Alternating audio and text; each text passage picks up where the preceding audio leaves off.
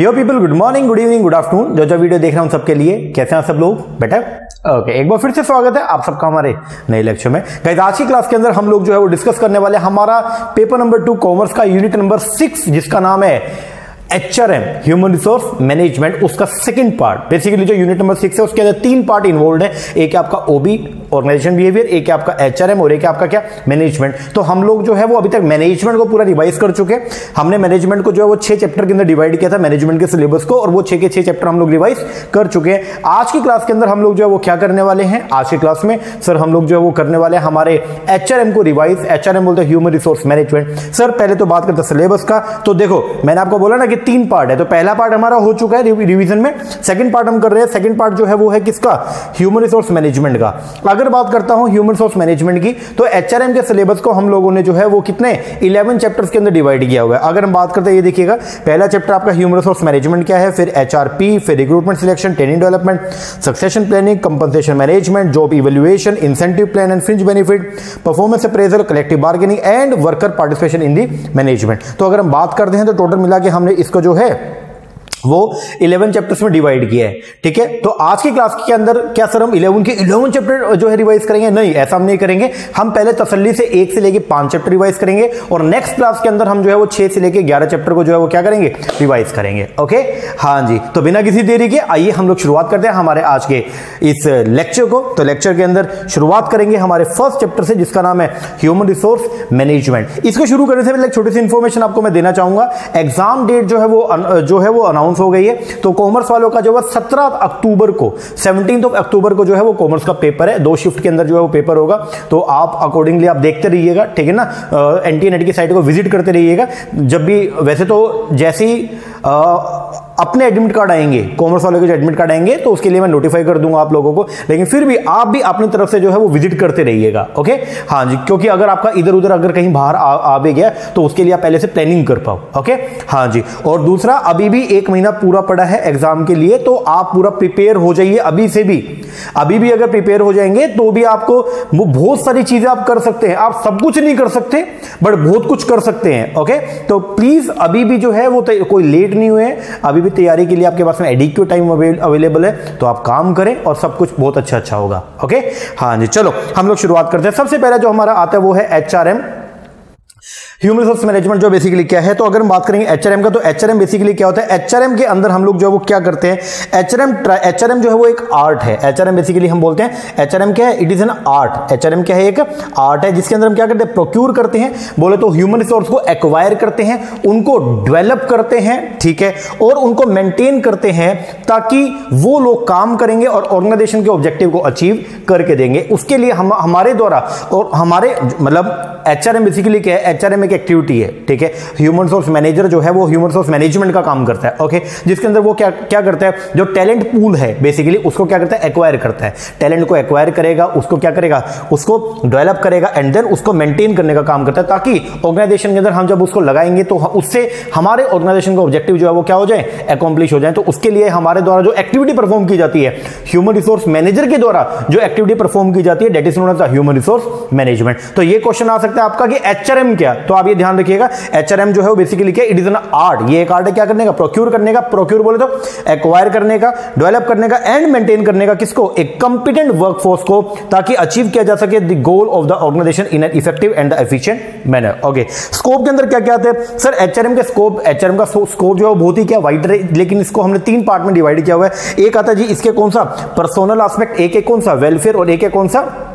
Industrial relation aspect मतलब इसके अंदर हम जो बात करते हैं पर्सनल एस्पेक्ट का मतलब क्या? कि हम जो है एम्प्लॉयज़ से रिलेटेड कुछ बातें करते हैं। वेलफेयर का मतलब जो है वो क्या? कि हम एम्प्लॉयज़ के कल्याण संबंधी बातें करते हैं और इंडस्ट्रियल रिलेशन एस्पेक्ट के अंदर हम बेसिकली क्या करते हैं? कि एम्प्लॉयज़ के साथ में बेटर रिलेशन और एम्प्लॉय की जो ऑर्गेनाइजेशन है, बहुत सारी यूनियन है, उनके साथ better organisation better relation maintain करने का काम करते हैं। अब एचआरएम के फीचर की अगर बात करते हैं तो फीचर के नाम पर आपके पास सबसे पहले जो आता है वो है H R H is concern with the employees both as individual as a group H R M के अंदर हम दोनों की बात करते हैं, चाहे इंडिविजुअल एम्प्लॉय की बात करो, चाहे उनके ग्रुप की बात कर लो, दोनों के दोनों इसके अंदर चर्चा की जाती है। एचआरएम के अंदर हम लोग क्या करते हैं? ह्यूमन सोर्स को डेवलप करने का काम करते हैं। एचआरएम जो है, वो सभी लेवल को जो है, वो कवर करता है, चाहे वो किसी भी लेवल का एम्प्लॉय है, चाहे वो स्किल्ड है, चाहे वो अनस्किल्ड है टॉप लेवल पे है मिडिल लेवल पे है लोअर लेवल पे चाहे कोई भी है। आगे, ये अप्लाई होता है कि ऑल द ऑर्गेनाइजेशन में, पूरे वर्ल्ड के अंदर जितने भी ऑर्गेनाइजेशन है, हर organisation basically human resource planning का काम करती है। चाहे वो प्रॉफिट ऑर्गेनाइजेशन है, चाहे वो एनपीओ है नॉट फॉर प्रॉफिट ऑर्गेनाइजेशन है, वो भी ह्यूमन रिसोर्स को मैनेज करने का काम करती है। ओके एचआरएम जो है, वो क्या एक कॉन्टिन्यूस फ़ंक्शन है मतलब नेवर एंडिंग फ़ंक्शन है परवेसी तो है ही है, और साथ में नेवर एंडिंग है, क्योंकि लगातार चलते रहते हैं। ऐसा नहीं है कि आपने एक ही बार एम्प्लॉइज को रिक्रूट किया और आपका काम खत्म हो गया। भाई साहब रिक्रूट करने के बाद में उसका सिलेक्शन आपने कर लिया उसको आपने इंट्रोड्यूस करवा दिया, काम सौंप दिया। उसके बाद कंटिन्यू आपको परफॉर्मेंस को उसकी अप्रेज करते रहना होता है। उसके बेस पर आपको रूटीन में उसको ट्रेन करना होता है। तो ये जो है वो कोई ऐसा नहीं है कि वन शॉट के अंदर ऐसा नहीं होगा। इसके अंदर बहुत सारे स्टेप्स होते हैं और वो कभी भी एक बार में नहीं होंगे। आपको रूटीन के अंदर वो करने होते हैं। आगे, फिर बोलते हैं एचआरएम के अंदर बेसिकली क्या है? एचआरएम जो है वो रिस्पॉन्सिबिलिटी किसका? ऑल दी लाइन मैनेजर्स का। एंड फ़ंक्शन है किसका? Staff manager in an organisation okay HRM is concern mostly with managing the human resource at the work जो काम के ऊपर जो आपके ह्यूमन रिसोर्स लगे हुए है तो उनको मैनेज करना बेसिकली पार्ट है किसका ह्यूमन रिसोर्स मैनेजमेंट का। ठीक है जी, ये नॉर्मल सी एक बात हो गया था। अब अगर बात करता हूँ मैं किसका फ़ंक्शन का तो मैंने आपको करवाया था। एचआर ह्यूमन रिसोर्स मैनेजमेंट कौन करता है? सर ह्यूमन रिसोर्स मैनेजमेंट करने का काम होता है ह्यूमन रिसोर्स मैनेजर का। और human resource manager basically organisation के अंदर दो तरह के फ़ंक्शन को परफॉर्म करता है। One is a managerial function another one is a operative function सबसे पहले अगर बात करेंगे मैनेजीरियल फ़ंक्शन का तो उसके अंदर वो मैनेजमेंट रिलेटेड एक्टिविटीज़ को परफॉर्म करता है लाइक आपका प्लानिंग हो गया ऑर्गेनाइजिंग हो गया डायरेक्टिंग कंट्रोलिंग ये सब आएगा। और अगर बात करूँगा ऑपरेटिव फ़ंक्शन का, यहाँ से क्वेश्चन आ सकता है। कुछ फ़ंक्शन दे देगा और बोलेगा कि बताइए ये किसका पार्ट है? अगर हल्का क्वेश्चन है तो डायरेक्टली पूछ लेगा कि ये मैनेजीरियल का पार्ट है या फिर ये ऑपरेटिव का पार्ट है। और अगर थोड़ा सा डेप्थ में आया तो ये पूछ सकता है कि ऑपरेटिव के अंदर बेसिकली जो है, वो पाँच तरह, छह तरह के जो है वो फ़ंक्शन होते हैं। तो इन छह में से वो किसका पार्ट है? ये आपको करके जाना पड़ेगा। तो बेसिकली जो इसके अंदर फ़ंक्शन आते हैं, वो है सबसे पहले क्या? प्रोक्यूरमेंट ऑपरेटिव फ़ंक्शन के अंदर ऑपरेटिव फ़ंक्शन के अंदर जो ह्यूमन रिसोर्स मैनेजर है, वो क्या करता है? सबसे पहले क्या करता है? प्रोक्यूरमेंट का काम करता है। प्रोक्यूरमेंट का मतलब क्या होता है? ये एम्प्लॉइज को एक्वायर करना या उनको हायर करना। एक बार आपने हायर कर लिया देन उसके बाद में क्या किया जाएगा?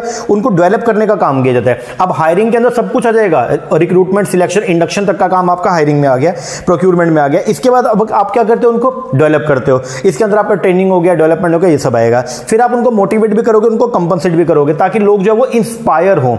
देन उसके बाद में हम उनको मेंटेन भी करके रखते हैं, उनको प्रोटेक्ट भी करते हैं, ठीक है, कोई भी अगर मान लीजिए कोई प्रॉब्लम है तो उससे उनको बचाने का काम भी करते हैं। फिर इंटीग्रेशन भी करते हैं मतलब ये है कि हम हम ऑर्गेनाइजेशन के गोल और जो एम्प्लॉयज़ के पर्सनल गोल है, उन दोनों को इंटीग्रेट करने का भी काम करते हैं। एंड लास्ट में कुछ हमारे इमर्जिंग इश्यूज़ हैं, ठीक है, उनके ऊपर भी हम लोग फोकस करते हैं, ठीक है, जैसे ह्यूमन रिसोर्स का अकाउंटिंग हो गया ह्यूमन रिसोर्स के लिए बेसिकली उसकी ऑडिट हो गया तो ये सब काम। तो ओवरऑल मिलाकर के अगर हम बात करते हैं तो एचआर मैनेजर के द्वारा जो फ़ंक्शन परफॉर्म किए जाते हैं, उनको बेसिकली तो दो कैटेगरी में डिवाइड किया गया one is the managerial another कौन सा? ऑपरेटिव और ऑपरेटिव फ़ंक्शन के अंदर एक एचआर मैनेजर जो है वो छह तरह की एक्टिविटीज़ को परफॉर्म करता है और उन छह के अंदर बहुत सारी और एक्टिविटी आएँगी। ओके हाँ जी। चलो जी सबसे पहले पढ़ते हैं हम लोग कौन सा? आ, मैनेजीरियल इसमें तो सीधा से हो गया, क्या वो क्या करेगा? मैनेजीरियल फ़ंक्शन के अंदर वो प्लानिंग करेगा। मतलब प्लानिंग करेगा कि भाई कितने मैन पावर की रिक्वायरमेंट है, उसके लिए वो पहले से देख लेगा। उसके बाद में है ऑर्गेनाइजिंग उनका प्रॉपर ग्रुपिंग करेगा। फिर डायरेक्टिंग उनको सुपरवाइज करना, उनको गाइड करना, वो डायरेक्टिंग के अंदर आएगा। ये सारे कीवर्ड आपको मैंने हाईलाइट करवा रखे तो ध्यान रखिएगा, उनको रिवाइज करते रहिएगा, ठीक है? तो जो आपको मैंने बुक दी थी ना, जो बुक आपके पास में है, उसको बस आप खोल के बैठे और जो कीवर्ड्स हैं, उसको हाईलाइट करते रहिए आप, ठीक है ना? उसके बाद और वो क्या काम करता है? उसके अलावा जो है, वो क्या करता है जी आपका? कंट्रोलिंग का काम करता है, ठीक है? वो मेजर करता है कि एम्प्लॉयज़ की परफॉर्मेंस कैसी है और अगर कोई डेविएशन पाया जाता है तो उनके लिए वो ट्रेनिंग डेवलपमेंट का एक्टिविटीज़ भी करता है। ऑपरेटिव के अंदर सबसे पहला जो काम आ रहा है, वो है जी प्रोक्यूरमेंट प्रोक्यूरमेंट का मतलब क्या होता है? ह्यूमन रिसोर्स को क्या करना? हायर करना, जिसके अंदर बेसिकली हायरिंग पीपल का काम किया जाता है। इसके अंदर रहेगा सबसे पहले क्या? जॉब का एनालिसिस जॉब एनालिसिस के अंदर हम लोग जो है, वो जॉब के बारे में जो है इंफॉर्मेशन कलेक्ट करते हैं, ठीक है? एक स्पेसिफिक जॉब के लिए जो है, उसकी क्या उसके ऑपरेशन है, क्या उसकी रिस्पॉन्सिबिलिटीज है, वो सब देखते हैं। फिर है ह्यूमन रिसोर्स की प्लानिंग करना.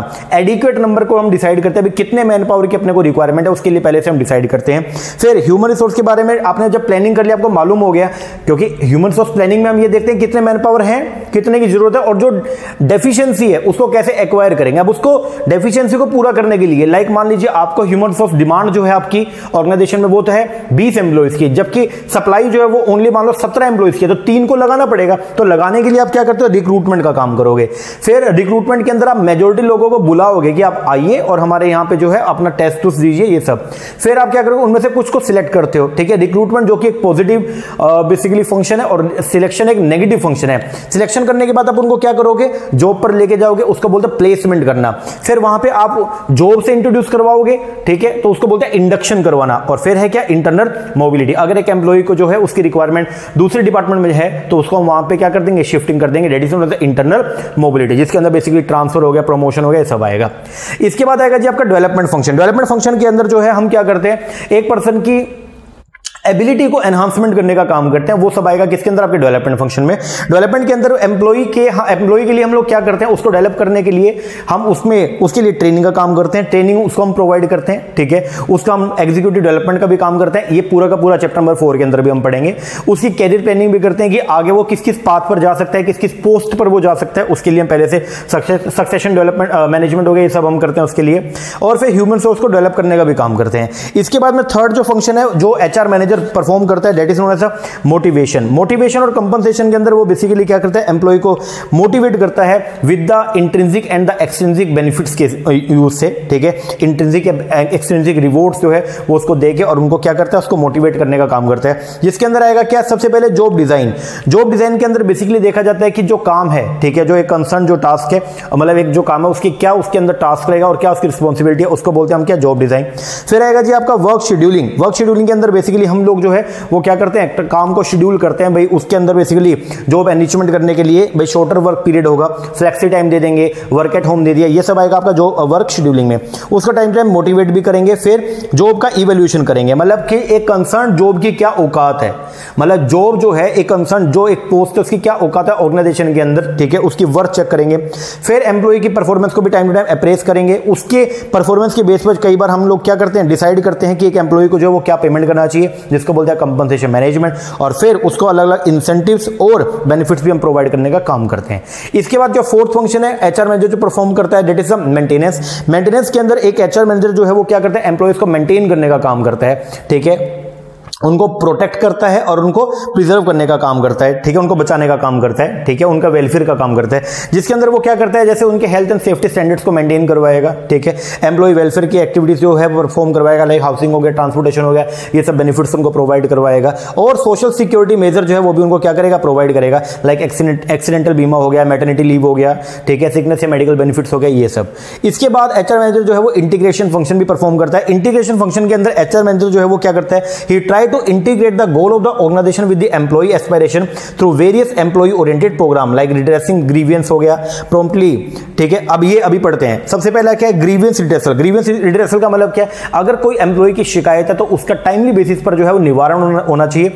अगर टाइम पे एम्प्लॉय की शिकायत को अगर आप क्या कर दोगे, पूरा उसका निपटान कर दोगे तो एम्प्लॉय थोड़ा मोटिवेटेड रहेगा, उसको ये रहेगा कि हाँ यार कंपनी में मेरी भी पूछ है।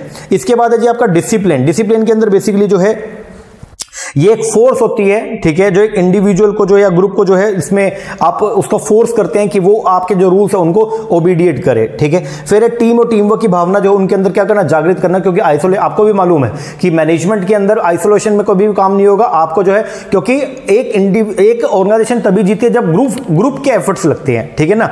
तो उनको टीम वर्क के लिए आप क्या प्रेरित करते हो? फिर कलेक्टिव बार्गेनिंग भी की जाती है। अगर मान लो किसी एक मुद्दे पर आकर के जो है वो यूनियन में और इसमें कोई जैसे मान लीजिए किसी वेजेस को लेकर के या वर्क आवर्स को लेकर के कोई बात हो गई है, कोई आपस में जो है वो कन्फ्लिक्शन हो गया या आपस में उनका आमना सामना हो गया कन्फ्रंटेशन हो गया तो उसको निपटाने के लिए बेसिकली हम क्या करते हैं? कलेक्टिव बार्गेनिंग का भी काम करते हैं। फिर एम्प्लॉय का पार्टिसिपेशन एम्पावरमेंट ये सब भी इसी के अंदर आएगा। ये पूरे चैप्टर्स हैं अलग अलग ठीक है ना? तो एम्प्लॉय पार्टिसिपेशन एम्पावरमेंट में हम क्या करते हैं? डिसीज़न मेकिंग के अंदर एम्प्लॉयज़ को लेके आते हैं। एंड फिर trade union and the employ association उनके साथ भी हम बेटर रिलेशन मेंटेन करते हैं ताकि वो कभी भी लॉकआउट वाली सिचुएशन जो है वो अराइज ना हो। और फिर अच्छे इंडस्ट्रियल रिलेशन को जो है वो क्या करते हैं हम मेंटेन करते हैं ताकि हमारी ऑर्गेनाइजेशन बिना इंटरप्शन के चलती रहे। इसके बाद इमर्जिंग इश्यूज़ के अंदर बेसिकली एचआर मैनेजर क्या करता है पर्सनल पर्सनल रिकॉर्ड मेंटेन करता है। टाइम टू टाइम पे जो अलग अलग पर्सनल है ऑर्गेनाइजेशन के अंदर काम करने वाले जो लोग हैं उनके रिकॉर्ड मेंटेन करता है। फिर ह्यूमन रिसोर्स की क्या करता है वो ऑडिट भी कर, करता है। टाइम टू टाइम पे वो चेक भी करता है। ठीक है, जो कि प्रोग्राम से हमने चला रखे हैं एचआर ह्यूमन रिसोर्स के लिए, क्या वो इफेक्टिवली वर्क भी करें, नहीं करें, और अगर कोई डेविएशन है तो उसके ऊपर चेक लगाया जाता है। फिर वो ह्यूमन रिसोर्स रिसर्च भी करता है रिसर्च के अंदर वो अलग अलग पॉलिसीज़ प्रैक्टिस को एम्प्लॉय करते हैं। देन ह्यूमन रिसोर्स का अकाउंटिंग भी करता है कि एक कंसर्न जो ह्यूमन रिसोर्स एसेट जो है हमारी तो उसकी वैल्यू क्या है हमारे ऑर्गेनाइजेशन के लिए। वो H R H R I S का भी काम करता है ह्यूमन रिसोर्स इंफॉर्मेशन सिस्टम का भी काम करता है, जिसके अंदर एच आर का डेटा जो है, उसको क्या डेटाबेस मेंटेन किया जाता है। स्ट्रेस एंड काउंसलिंग की एक्टिविटी कोई परफॉर्म करता है। And international human resource management के अंदर भी वो डील करते हैं कि इंटरनेशनल लेवल पे एचआर को मैनेज करने की कौन सी प्रैक्टिस चल रही है तो उनको, उनके साथ अपने एक्टिविटीज़ को इंटीग्रेट करने का काम करता है।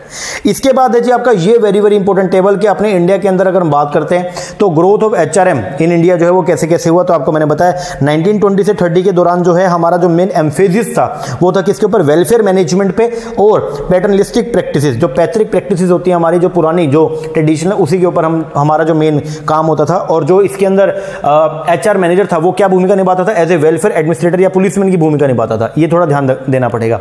फिर 1940 से 60 के दौरान जो हमारा एम्फेसिस जो था एच आर मैनेजमेंट का, वो क्या था बेसिकली ह्यूमन रिसोर्स मैनेजमेंट का, वो था लेबर वेलफेयर के ऊपर industrial better industrial relation maintain करने पर और पर्सनल को एडमिनिस्ट्रेट करने पर। ठीक है? ये जॉब जो थी, वो कौन सी थी? वो एडमिनिस्ट्रेटिव नेचर की जॉब थी। फिर 1960 से आपको मैंने लिखवाया भी था 1960 से 90 के दौरान जो है, जो हमारा जो काम था, वो था किसके ऊपर? ऑर्गेनाइजेशन के एफिशिएंसी एंड इफेक्टिवनेस के ऊपर human resource human values aspiration dignity and usefulness के ऊपर। फिर 1990 से 2000 के दौरान हमारा जो मेन फोकस था वो था किसके ऊपर? Incremental productivity gain through the human asset और फिर आज की डेट में चल रहा है वो वो क्या चल रहा है आपका? जैसे कोस्ट कटिंग हो गया क्वालिटी इंप्रूवमेंट हो गया, ये सब। तो इसके ऊपर अपना मेन एम्फेसिस आपको मैंने बोला था ये क्रैम कर लीजिएगा, ठीक है?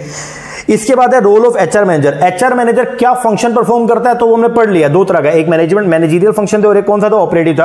अब कहानी आती है क्या रोल का, कि एचआर मैनेजर का बेसिकली रोल क्या है। तो अगर हम रोल की बात करते हैं तो रोल के नाम पे उसके तीन तरह के रोल है। एक है जी, वो एडमिनिस्ट्रेटिव रोल निभाता है, एक में वो ऑपरेशनल रोल निभाता है और एक में क्या वो स्ट्रेटेजिक रोल निभाता है। सबसे पहले आएगा एडमिनिस्ट्रेटिव एडमिनिस्ट्रेटिव एडमिनिस्ट्रेटिव रोल के अंदर एचआर मैनेजर बेसिकली क्या करता है? वो पॉलिसी मेकर का काम करेगा, ठीक है?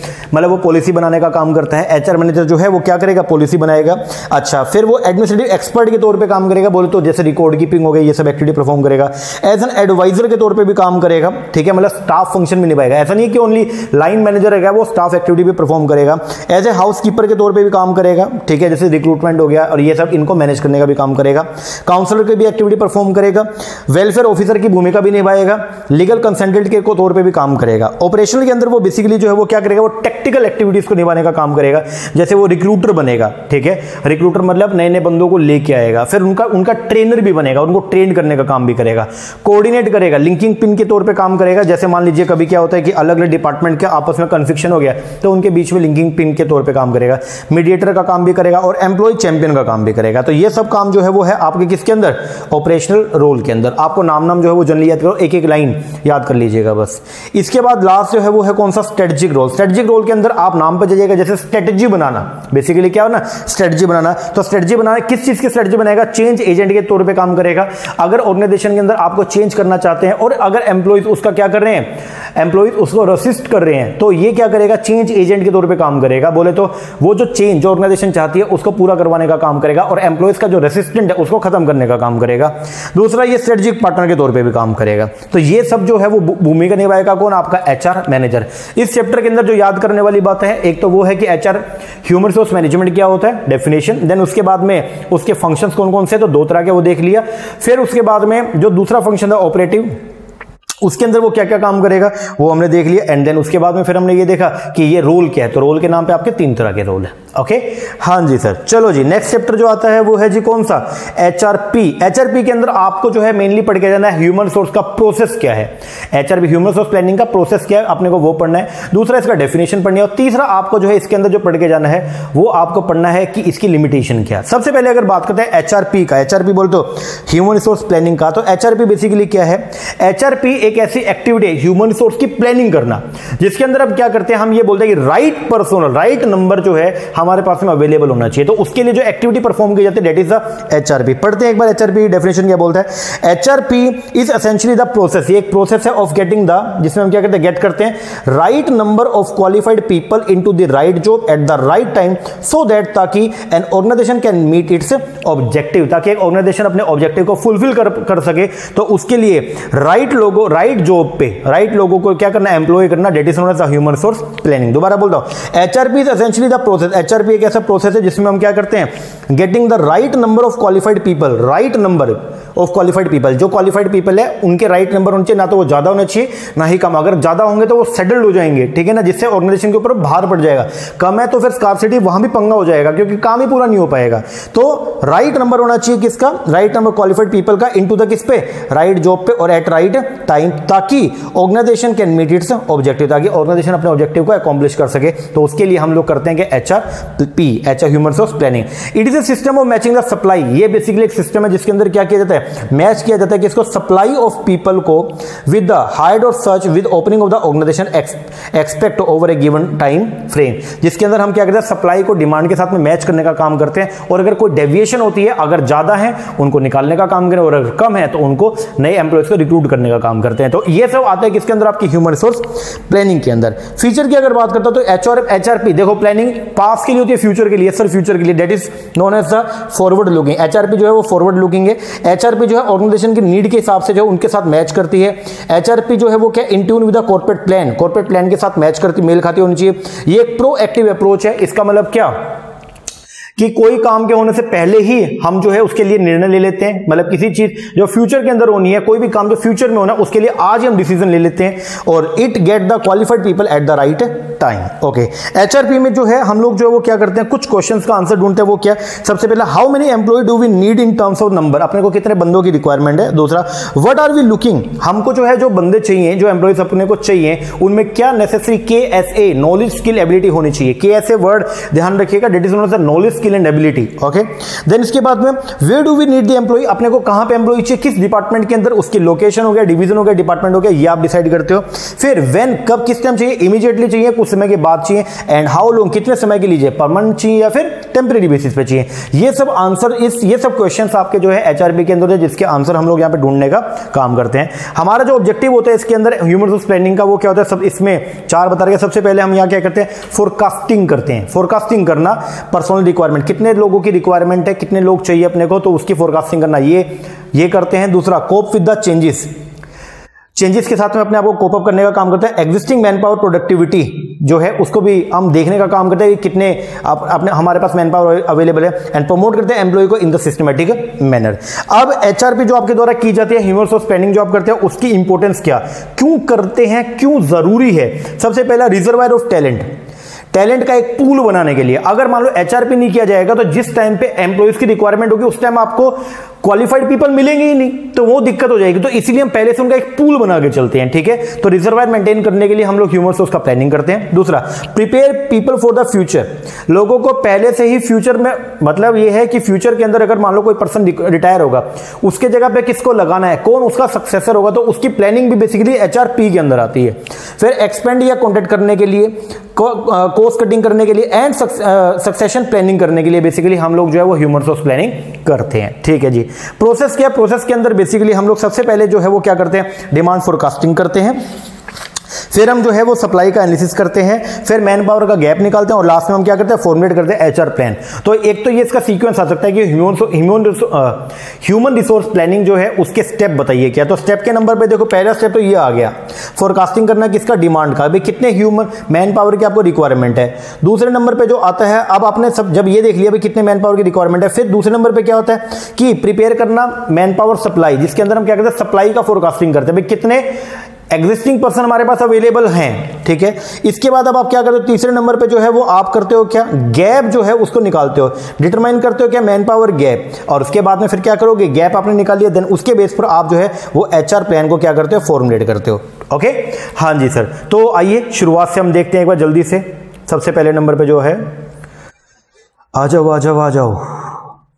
हाँ जी, सबसे पहले नंबर पे हम क्या करते हैं? फोरकास्टिंग करते हैं। डिमांड फोरकास्टिंग का मतलब यहाँ पे बेसिकली ये होता है कि हम देखते हैं कि अपने ऑर्गेनाइजेशन के अंदर जो कितने मैन पावर की क्या है रिक्वायरमेंट है। तो सबसे पहले वो देखते हैं। इसके अंदर ना अब कितने मैन पावर की ज़रूरत पड़ेगी तो उसको कई सारे फैक्टर अफेक्ट करते हैं। अब वो कौन कौन से सबसे पहले है जी आपका एक्सटर्नल चेंजेस मतलब मैन पावर क्यों चाहिए आपको? ठीक है, कितनी मैन पावर चाहिए क्यों चाहिए? तो उसके लिए कुछ फैक्टर हैं जो आपके लिए एक आप ये कह सकते हो कि वो फैक्टर आपके लिए एक डिसाइडिंग फैक्टर है, ठीक है, जिनके बेस पर आप डिसाइड करते हो भाई इतने लोगों की ज़रूरत है और इसलिए ज़रूरत है। सबसे पहले नंबर पे आएगा जी क्या? आपका एक्सटर्नल चैलेंजेस के लिए, ठीक है? लाइक आपका इकोनॉमिक डेवलपमेंट अगर कंट्री में इकोनॉमिक डेवलपमेंट होगा तो फिर क्या होगा? तो सर इकोनॉमिक डेवलपमेंट होगा जीडीपी बढ़ेगा मतलब प्रोडक्शन को बढ़ाना पड़ेगा तो उसके लिए एक्सेस मैन की रिक्वायरमेंट है। दूसरा political legal social technical changes अगर हो रहे हैं, अगर वो चेंजेस हमारे फेवर में जिससे हमारा काम बढ़ेगा तो एचआर एचआर की रिक्वायरमेंट ज़्यादा होगी। फिर इसके बाद कंपटीशन अगर कंपटीशन बढ़ रहा है, मान लीजिए तो उस केस के अंदर बेसिकली क्या है कि आप अपने कोस्ट को अगर कम करते हो तो एचआर को क्या करोगे? हटाओगे, ठीक है? और अगर कंपटीशन कम आपके मोनोपोली तो काम को और भी बढ़ा सकते हो तो नेचुरल बात है, वहाँ पे एचआर को और ज़्यादा एम्प्लॉय करोगे। फिर कुछ ऑर्गेनाइजेशन के डिसीज़न होते हैं। अगर ऑर्गेनाइजेशन ये डिसाइड करती है कि जी, हम तो काम को बढ़ाएँगे तो एक्सेस की रिक्वायरमेंट है, और अगर वो ये बोलते कि नहीं, हम काम को थोड़ा कम करो कॉन्ट्रैक्ट कर लेंगे तो फिर क्या करोगे आप? छटनी करोगे, उनको ले ऑफ़ कर दोगे, या उनको एग्जिस्टिंग एचआर जो ह्यूमन सोर्स है, उसको क्या रिट्रेंच कर दोगे। फिर वर्कफोर्स सेक्टर भी आपके कुछ होते हैं लाइक रिटायरमेंट कितने लोग छोड़ के जा रहे हैं रिजाइन कर रहे हैं, ये सब, उसके बेस पर भी आप जो है वो प्रिडिक्शन करते हो कि भाई इतने इतने इतने लोग हमारे छोड़ के जाएँगे तो इतने पोस्ट खाली होंगे और इनके ऊपर अपने को बंदे की रिक्वायरमेंट है। फिर फोरकास्टिंग की टेक्निक लगाते हो। अब एग्जैक्ट ह्यूमन रिसोर्स की कितनी रिक्वायरमेंट है, उसको निकालने के लिए हम लोग जो है वो फोरकास्टिंग की टेक्निक लगाते हैं। फोरकास्टिंग की टेक्निक के अंदर हम लोग जो है बेसिकली सबसे पहले, जैसे आपका जजमेंट मेथड जिसके अंदर आप खुद क्या करते हो एक्सपर्ट से जो है एक्सपर्ट राय देते हो बेसिकली ठीक है? आप जजमेंट के बेस पर आप देखते हो, भाई इतने इतने मैन पावर की अपने को रिक्वायरमेंट है। दूसरे नंबर पर आएगा ट्रेंड एनालिसिस आप प्रीवियस ट्रेंड को देखते हो, भाई प्रीवियस ट्रेंड के अंदर के अकॉर्डिंग जो है, वो कितना प्रोडक्शन अपने, हमने किया और कितना अपने को करना है आगे तो उसके बेस पर आप डिसाइड करते हो। भाई इस, इतने प्रोडक्शन के लिए इतने लोगों की ज़रूरत थी आप इतना काम हम आगे और करेंगे या ट्रेंड ये बोलता है कि इतना काम होगा उसके उसके आ, उसको बेस बना के कितने लोगों की और रिक्वायरमेंट है तो वो आप डिसाइड करते हो।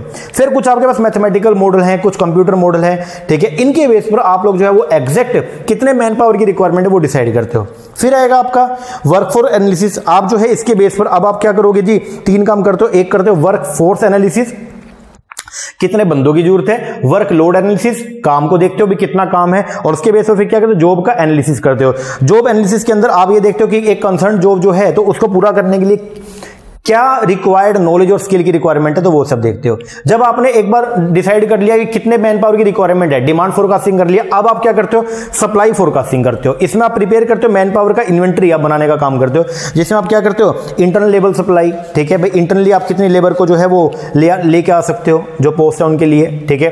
तो इंटरनल लेबर के अंदर आप क्या क्या करोगे? जैसे ट्रांसफ़र हो गया प्रमोशन हो गया न्यू रिक्रूट एम्प्लॉइज हो गया रिकॉल हो गया तो इनको आप आगे लगा सकते हो, ये आप करोगे। फिर इनके लिए भी आप फोरकास्टिंग टेक्निक है आपके पास में। मतलब कि कंसर्न सप्लाई को मैंने देखने के लिए भाई कितने मैन पावर हमारे पास में एग्जिस्ट करते हैं। सबसे पहले आपने डिमांड का फोरकास्टिंग किया। अब डिमांड फोरकास्टिंग के बाद में अब आप क्या करोगे? सप्लाई का फोरकास्टिंग करोगे। वहाँ पे आप चेक करोगे बेसिकली कि कितने लोग अवेलेबल हैं या कितने अवेलेबल हो सकते हैं। ठीक है? तो उसके लिए भी आप लोग जो है वो टेबल बनाते हो कुछ अपनी। ठीक है? मतलब आपके पास फोरकास्टिंग करने टेक्निक है। सबसे पहले होता है स्टाफिंग टेबल स्टाफिंग टेबल के अंदर आप बेसिकली जो है वो क्या करते हो? जितने भी नंबर ऑफ़ एम्प्लॉय आपके पास में आज अलग अलग जॉब जॉब के ऊपर है, उनका आप एक प्रोफ़ाइल बनाओगे, जिसको बोलते हैं आप लोग क्या स्टाफिंग टेबल उनसे रिलेटेड नेसेसरी इन्फॉर्मेशन को वहाँ पे क्या करते हो? लिखते हो। फिर आप मार्कअप एनालिसिस बनाते हो। इसमें जो हिस्टोरिकल रेट है बेसिकली आपका प्रमोशन का ट्रांसफ़र का, उसको यूज़ किया जाता है फ्यूचर की रिक्वायरमेंट को पता लगाने के लिए। उसके लिए हम लोग बनाते हैं मार्कअप एनालिसिस फिर आपका स्किल इन्वेंट्री भी हम करते हैं। इसका मतलब ये है कि इसके अंदर हम असेसमेंट करते हैं नॉलेज स्किल एबिलिटी का। ठीक है, जो हमारे करंट एम्प्लॉई है तो हर दो दो साल में उस डेटाबेस को क्या करते हैं? अपडेट करते हैं। इसको बोलते हैं आप लोग क्या?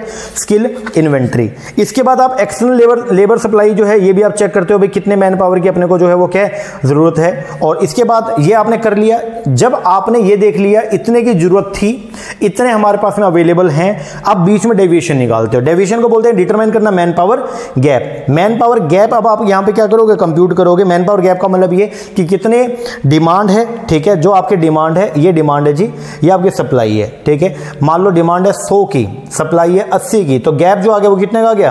ट्वेंटी। इसको बोलते हैं आप लोग क्या? ये है जी आपके एडिशनल नंबर जो अपने को क्या है? रिक्वायरमेंट एडिशनल नंबर नीडेड ये अपने को इतने बंदे चाहिए। अब उसको लाने के लिए आप लोग जो है वो क्या करते हो? एच प्लान बनाते हो। तो फोर्थ नंबर पे क्या क्या आएगा? एच प्लान सबसे पहले डिमांड फोरकास्टिंग फिर सप्लाई फोरकास्टिंग फिर क्या निकाल लो? गैप निकाल लो। मैन पावर का गैप निकाली और गैप निकालने के बाद आखिरी में जो होगा वो है क्या?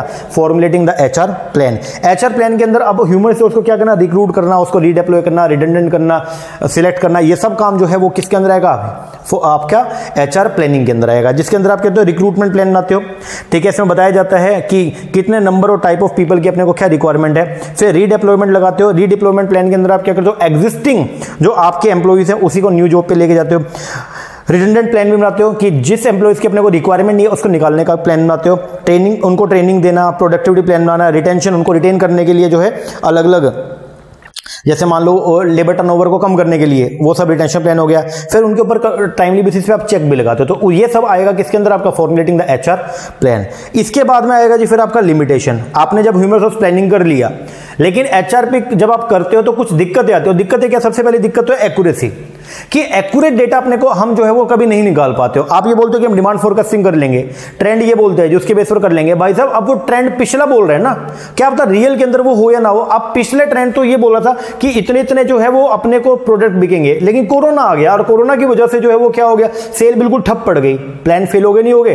हो गए। तो बोलते हैं एक्यूरेसी कभी भी नहीं होती है। दूसरी दिक्कत क्या? प्रिपरेशन ये सब काम बनाना जो है बहुत मुश्किल काम है। ठीक है ना? ये सब मेंटेन करना डेटाबेस मेंटेन करना डिमांड का फोरकास्टिंग और इसका सप्लाई का, वो थोड़ा टिपिकल काम है। फिर सपोर्ट ये सब काम करने के लिए आपको लोअर लेवल और अपर लेवल दोनों का सपोर्ट चाहिए और वो मिलना कई बार मुश्किल होता है, क्योंकि वो और भी काम कर होते हैं। और सबसे मेन बात जो है वो क्या? रेसिस्ट एम्प्लॉई और ट्रेड यूनियन जो है वो ह्यूमन रिसोर्स प्लानिंग के लिए क्या कहता है? रेसिस्ट करते हैं। वो बोलते हैं नहीं, जैसा चल रहा है उसको वैसा चलने दो। और फिर बोला गया सबसे मेन बात क्या कि ह्यूमन रिसोर्स प्लानिंग बेसिकली क्या एक नंबर गेम है भाई, ये नंबर गेम मतलब इसके अंदर क्वालिटी एस्पेक्ट को जो है वो क्या किया गया? इग्नोर क्योंकि आपने देखा कि बस ये बात करें कितने होने चाहिए नंबर और कितने हैं, वो भी नंबर कितनी कमी है, वो भी एक नंबर और उसको कैसे पूरा करेंगे? तो यहाँ पे क्वालिटी की बात नहीं कर रहा कि भाई किस क्वालिटी की अपने को मैन पावर की रिक्वायरमेंट है, उसकी यहाँ पे चर्चा नहीं की जाती। इसलिए बोलते हैं it is only a number game okay हाँ जी, लो जी चैप्टर नंबर टू हो गया। अब बात करते हैं चैप्टर नंबर थ्री का। अगर बात करेंगे chapter number three chapter number three का नाम जो है वो है क्या? रिक्रूटमेंट एंड सिलेक्शन अब आपने ह्यूमर सोर्स का प्लानिंग बना, किया। प्लानिंग करने के बाद में अब आपका क्या ड्यूटी बनता है? जो कमी है, उस कमी को क्या करना है? पूरा करना है। तो पूरा करने के लिए आप क्या करोगे? नए एम्प्लॉयज़ को बुलाओगे तो उनको रिक्रूट करने का काम करवाते हैं। तो रिक्रूटमेंट में बेसिकली जो है, हम लोग क्या रिक्रूटमेंट एक लिंकिंग फ़ंक्शन है, ठीक है? जिसमें हम क्या कहते हैं? ब्रिंगिंग टूगेदर दोस्त विद वैकेंसी जिनकी मतलब हम क्या कहते हैं? दो लोगों को आपस में मिलाने का काम करते हैं। जिनको जॉब चाहिए और जिनको जॉब जिनको बंदों की ज़रूरत है, उन मतलब जिन लोगों को लोगों, जिन लोगों को, या जिस मतलब एक ऑर्गेनाइजेशन जिसको बंदों की रिक्वायरमेंट है, और वो बंदे जिनको जॉब की ज़रूरत है, उन दोनों को मिलाने के लिए जो एक्टिविटी परफॉर्म की जाती है that is known as recruitment तो रिक्रूटमेंट के, वो क्या है? एक लिंकिंग फ़ंक्शन है। इसके अंदर बेसिकली द बेसिक पर्पस है रिक्रूटमेंट का is to develop a group of potentially qualified people इसे हम क्या करते हैं? डेवलप करते हैं ग्रुप डेवलप करते हैं किसका पोटेंशियली क्वालिफाइड पीपल का, और उनमें से कुछ लोगों को सिलेक्ट करने का काम किया जाता है। To this end the organisation must communicate the position in which in such a way that job seeker respond अब जो अब जो फीचर है इसके फीचर के नाम पे सबसे पहले क्या? लोकेट द अट्रैक्टिव टैलेंट हम जो है वो क्या करते हैं, सबसे पहले लोकेट करते हैं एच जो आपका रिक्रूटमेंट के अंदर हम क्या करते हैं, हम ढूँढने का काम करते हैं अट्रैक्टिव टैलेंट को। फिर एक लिंकिंग प्रोसेस है, फिर ये एक पॉजिटिव प्रोसेस है जिसके अंदर नए नए लोगों को लाने का काम किया था उनको निकालते नहीं है। उन नए नए लोगों को इंसिस्ट किया जाए कि आप जो है हमको क्या करो अप्लाई करो जॉब के लिए, और ये एक बहुत ही वाइटल फ़ंक्शन है। प्रोसेस के अंदर सबसे पहले हम क्या करते हैं, हम आइडेंटिफाई करते हैं रिक्वायर्ड नंबर कितने लोगों की ज़रूरत है and the source of supply और कहाँ से उनको क्या करना है, पूरा करना है। फिर पब्लिसाइज करते हैं जॉब डिटेल को, ठीक है भाई जॉब डिटेल आपने निकाल भाई इतने इतने लोगों की अपने, हमको क्या है रिक्वायरमेंट है। फिर लोगों को एनकरेज करते हैं प्रोस्पेक्टिव जॉब सीकर को। वो लोग जो जॉब को ढूंढ रहे हैं तो उनको हम एंकरेज करते हैं कि वो अप्लाई करें इन लार्ज नंबर जितने ज़्यादा लोग आएँगे ना आपके पास अप्लाई करने के लिए, उतना आपका बेनिफिट है। बेनिफिट ये है आपका कि आपका उतने ही मेजोरिटी हो, उतना ही आपके पास में जो है वेराइटी जिनमें से आप, जो आपके काम में सूट करते हैं बेस्ट आप उनको सिलेक्ट कर सकते हो। फिर जब इवेल्युएट करते हो रिक्रूटमेंट के एफर्ट्स को। एट द एंड में आपने उनको लगाया तो लगाने के बाद आप अपने रिक्रूटमेंट एफर्ट को भी टाइमली बेसिस पे क्या करते हो? आप इवेल्यूट करते हो। अब है जी, इसको इफ़ेक्ट करने वाले फैक्टर ये तो नॉर्मल से हैं। अब है रिक्रूटमेंट सिलेक्शन के अंदर क्या डिफरेंस है? सबसे पहला मीनिंग की बात करते हैं तो बोलता है रिक्रूटमेंट जो है वो क्या करता है? एनकरेज करता है क्वालिफाइड एप्लीकेंट को to apply for a job opening जबकि सिलेक्शन जो वो क्या करता है? उन जो लोगों ने अप्लाई किया था, उनमें से चूज़ करता है the most suitable candidate for the vacant post फिर रिक्रूटमेंट किया जाता है क्रिएट करने के लार्ज टैलेंट पूल को, और सिलेक्शन किया जाता है choose the right candidate from the applicant possessing the relevant qualification आगे रिक्रूटमेंट जो है उसका नेचर क्या it encourage large number of qualified job seeker to apply for the job opening और सिलेक्शन में क्या?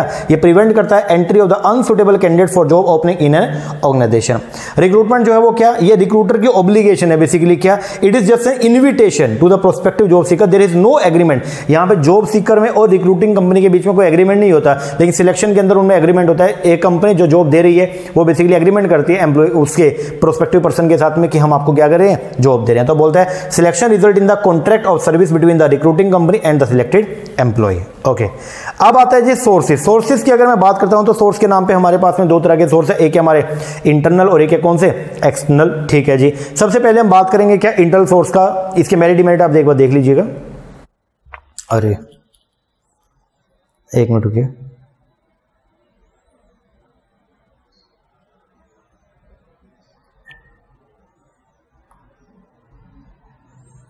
हाँ जी, आइए। अब सबसे पहले नंबर पे जो आता है वो है जी इंटरनल सोर्स के अंदर आपका है promotion and promotion and transfer तो इंटरनली ही आप बंदों को जो है एक पोस्ट पे, अगर एक पोस्ट कोई खाली है तो उस पर लगाने के लिए आप क्या कर सकते हो प्रमोशन प्रमोशन के अंदर बेसिकली प्रमोशन जो है वो क्या होता है? Movement of an employee from lower to higher level promotion में लोअर लेवल से हायर लेवल पे लेके जाते हैं और जो आपका ट्रांसफ़र होता है उसके अंदर क्या होता है? इट इन्वॉल्व लेटरल मूवमेंट एक ही लेवल पे के ऊपर जो एक पर्सन जो है वो रहता है within the same grade from one job to another एक होता है जॉब पोस्टिंग या जॉब बिडिंग जॉब पोस्टिंग के अंदर या जॉब बिडिंग के अंदर बेसिकली क्या करती है? ऑर्गेनाइजेशन जिसको नई पोस्ट जहाँ पे वैकेंट हुई है तो वो क्या करते हैं कि एक आपका कंपनी के अंदर ही, ठीक है नोटिस बोर्ड होगा, वहाँ पे बता देंगे, भाई ये जॉब हमारी क्या वैकेंट है और इस जॉब के लिए जो है, ये ये स्किल के लोग चाहिए। तो जो कंपनी के एम्प्लॉयज़ होते हैं, वही उसके लिए क्या करते हैं? अप्लाई करते हैं। इसके बाद है एम्प्लॉय रेफरल रेफरल ये एक्चुअल में यहाँ का पार्ट नहीं है, ये है आपका एक्सटर्नल तो एम्प्लॉय रेफरल वैसे मैं यहीं पे कवर करता हूँ। ये एक्सटर्नल है कंपनी के बाहर बाहर का। जो कंपनी के अंदर एम्प्लॉयज़ काम करते हैं तो उनके कोई रिश्तेदार या उनके कोई रिलेटिव जो बेसिकली कंपनी जो है वो कई बार की ये चाहती है कि देखो बाहर के अननोन पर्सन को लेके आएँगे। इससे बेटर ये है कि जो एम्प्लॉयज़ काम करे तो उन्हीं को बोल देते हैं कि तुम्हारा अगर कोई भाई बंधु है तो उसको आप ले आइए। तो उसके लिए कंपनी को ना तो एडवर्टीजमेंट करने की ज़रूरत है और फिर दूसरा जो है वो थोड़े रिलायबल लोग भी होते हैं क्योंकि उनके पीछे जो है वो लोग हमारे पास में एग्जिस्टिंग काम कर रहे हैं। तो अगर वही अपने आ, किसी भाई बंधु को ले आएँगे ठीक है तो उसको बोलते हैं आप लोग के एम्प्लॉय रेफरल थोड़ा ध्यान रखिएगा। इसके बाद आपके कुछ आएँगे जी डायरेक्ट मेथड जिसके अंदर आपका आ गया सबसे पहला कौन सा? एक्सल एक्सल मेथड के अंदर है आपका कैंपस रिक्रूटमेंट, जिसके अंदर कंपनी जो है, अगर नए बंदों को लेके आने के लिए कंपनी जो है वो क्या करती है, वो जाती है कहाँ पे बेसिकली कैंपस के अंदर, जैसे मान लो कॉलेजेस के अंदर जो फाइनल ईयर के स्टूडेंट्स है तो उनके इंटरव्यू लेने के लिए तो उसको बोलते हैं कैंपस रिक्रूटमेंट फिर इनडायरेक्ट के अंदर आएगा आपका एडवर्टीजमेंट इश्तिहार निकाल देना कि भाई हमको इतने से बंदों की ज़रूरत है, उस तरीके से भी आप एम्प्लॉयज़ को जो है वो रिक्रूट कर सकते हो। थर्ड पार्टी मेथड के अंदर आएगा आपका, जैसे प्राइवेट एम्प्लॉयमेंट सर्च फॉर्म्स होती हैं, बहुत सारी खुली होती है एम्प्लॉयमेंट एक्सचेंज बोलते हैं ना, जो प्राइवेट एम्प्लॉयमेंट एक्सचेंज है तो उनके पास भी डेटाबेस होता है, ठीक है भाई मैन पावर्स का। तो अगर आपको बंदों की रिक्वायरमेंट तो आप उनको भी कंसल्ट कर सकते हो, उनसे भी। फिर है जी, आपका कुछ गवर्नमेंट एजेंसीज हैं, जिनको बोलते हैं एम्प्लॉयमेंट एक्सचेंज उनसे भी आप जो है वो डेटाबेस उनके पास मेंटेन होता है तो वहाँ से भी आप नेसेसरी लोगों को जो है वो इन्वाइट कर सकते हो। फिर आपका गेट हायरिंग अगर आपका काम जो है वो बेसिकली मान लो कि ब्लू कॉलर एम्प्लॉयज़ वाला काम होता है, जो फैक्ट्री के अंदर काम करने वाले तो उसके लिए आपकी गेट हायरिंग भी होती है। जैसे मान लो कि आप सुबह सुबह क्या, कुछ एम्प्लॉयज़ जो हैं, कुछ लोग जो है, वो कंपनी के फैक्ट्री गेट पे आ जाएँगे। ठीक है फैक्ट्री गेट पे आ जाएँगे तो उनमें से जो आएँगे तो उनको हम क्या करते हैं एक दिन के लिए ले आते हैं। तो इसको बोलते हैं गेट हायरिंग फिर अनसोलिसिटेड एप्लीकेंट वॉक इन बोलते हैं इसको।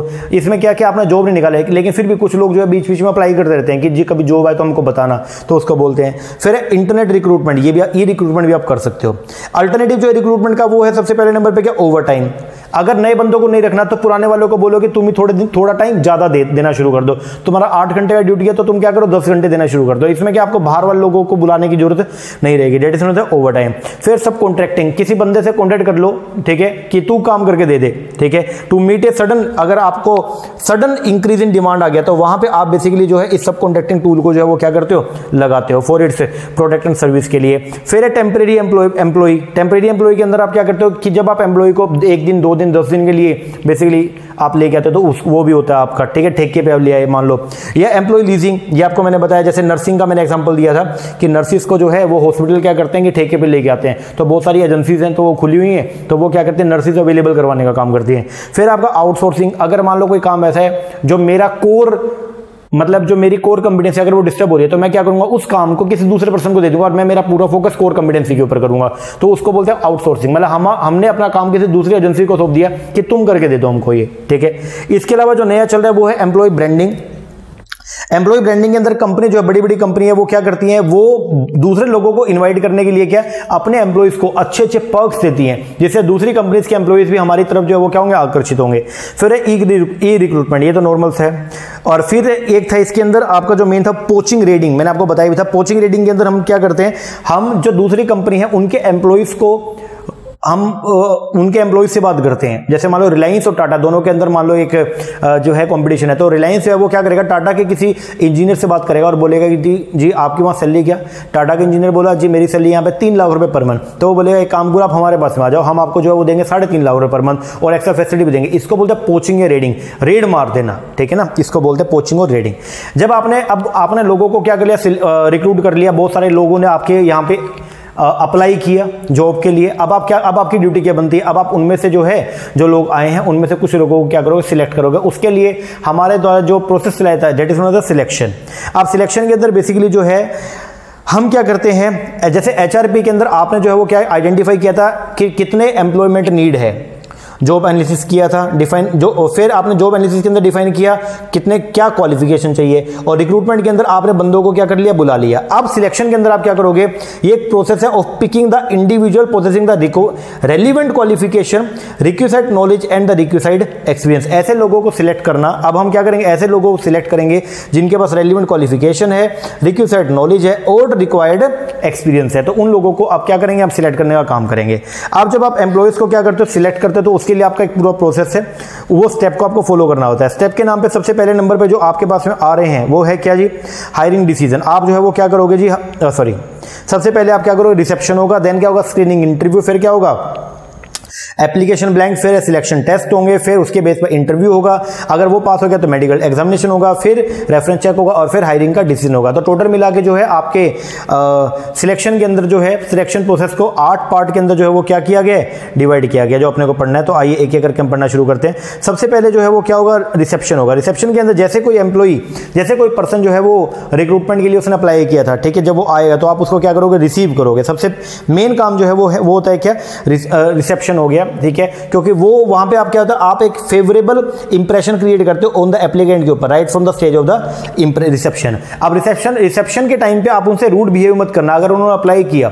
अगर आपकी वो वैकेंसी फिल हो गई है तो भी आप उनको ये बोलना, जी, अभी तो एक बार फिल हो गया, लेकिन आप ना एच जो वो है ह्यूमन रिसोर्स वाले जो लोग हैं, या फिर जो हमारे एच डिपार्टमेंट है तो उनसे आप कंसल्ट करते रहना कि जैसे खाली होगा, कोई वैकेंसी तो हम आपको ज़रूर बुलाएँगे। रिसेप्शन के बाद आप उनको क्या करेंगे? स्क्रीनिंग इंटरव्यू करेंगे। अगर बहुत सारे लोग आ गए तो आप उनको प्राइमा फेसी जो आपकी रिक्वायरमेंट पे मैच ही नहीं करते, आपने, मान लीजिए आपने मांग रखा है कि हमको ग्रेजुएट चाहिए, और कोई बंदा मान लो प्लस टू आ गया अब उसकी, उसका यूज़ क्या आपके पास में? कोई यूज़ नहीं है। तो उसको शुरू से ही क्या कर दो? हटा दो। तो उसके लिए हम जो है, वो क्या करते हैं? स्क्रीनिंग इंटरव्यू करते हैं, जिसके अंदर जो हमको लगता है कि जो सुटेबल कैंडिडेट है, उन्हीं को आगे प्रोसेस के अंदर लेके आएँगे और बाकियों को वहीं से टाटा बाय बाय बोल देते हैं।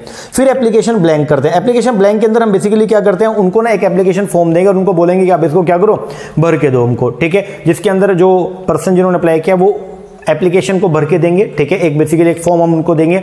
उस फॉर्म में उनकी जो हम हम, हमारे पास में उनका जो है, उनके बारे में बहुत सारी नॉलेज हमारे पास आ जाएगी। लाइक उनकी एक ब्रीफ हिस्ट्री शीट बोल सकते हैं। लाइक उनका बैकग्राउंड जो है, वो क्या है? उनका पर्सनल डेटा जो है, उनका मैरिटल स्टेटस हो गया एजुकेशन डेटा हो गया, ये सब रिकॉर्ड जो आपके पास में आ जाएगा। तो आपका एक अंदाज़ा हो जाएगा, भाई, ये एम्प्लॉय की, ये उस पर्सन की क्या है? प्रोफ़ाइल है। उसके बाद में एम्प्लॉय एप्लीकेशन ब्लैंक भरवाने के बाद में अब आप क्या करोगे? उनका टेस्ट लोगे। अब टेस्ट के अंदर जो है वो क्या होगा? इंटेलिजेंट टेस्ट बहुत सारे तरह के टेस्ट है। सबसे पहले नंबर पे आया आपका इंटेलिजेंट इंटेलिजेंट टेस्ट के अंदर हम लोग जो वो ये देखते हैं कि क्या एक एम्प्लॉय जो है, वो अलर्ट और क्विक है या नहीं है शुरू से ही तो उसके लिए उसकी मेंटल एबिलिटी को टेस्ट किया जाता है। फिर उसका एप्टीट्यूड टेस्ट देखते हैं, जैसे क्लैरिकल मैथमेटिकल जो है, वो ऑपरेशन वो कर सके, कर सकता है, नहीं कर सकता।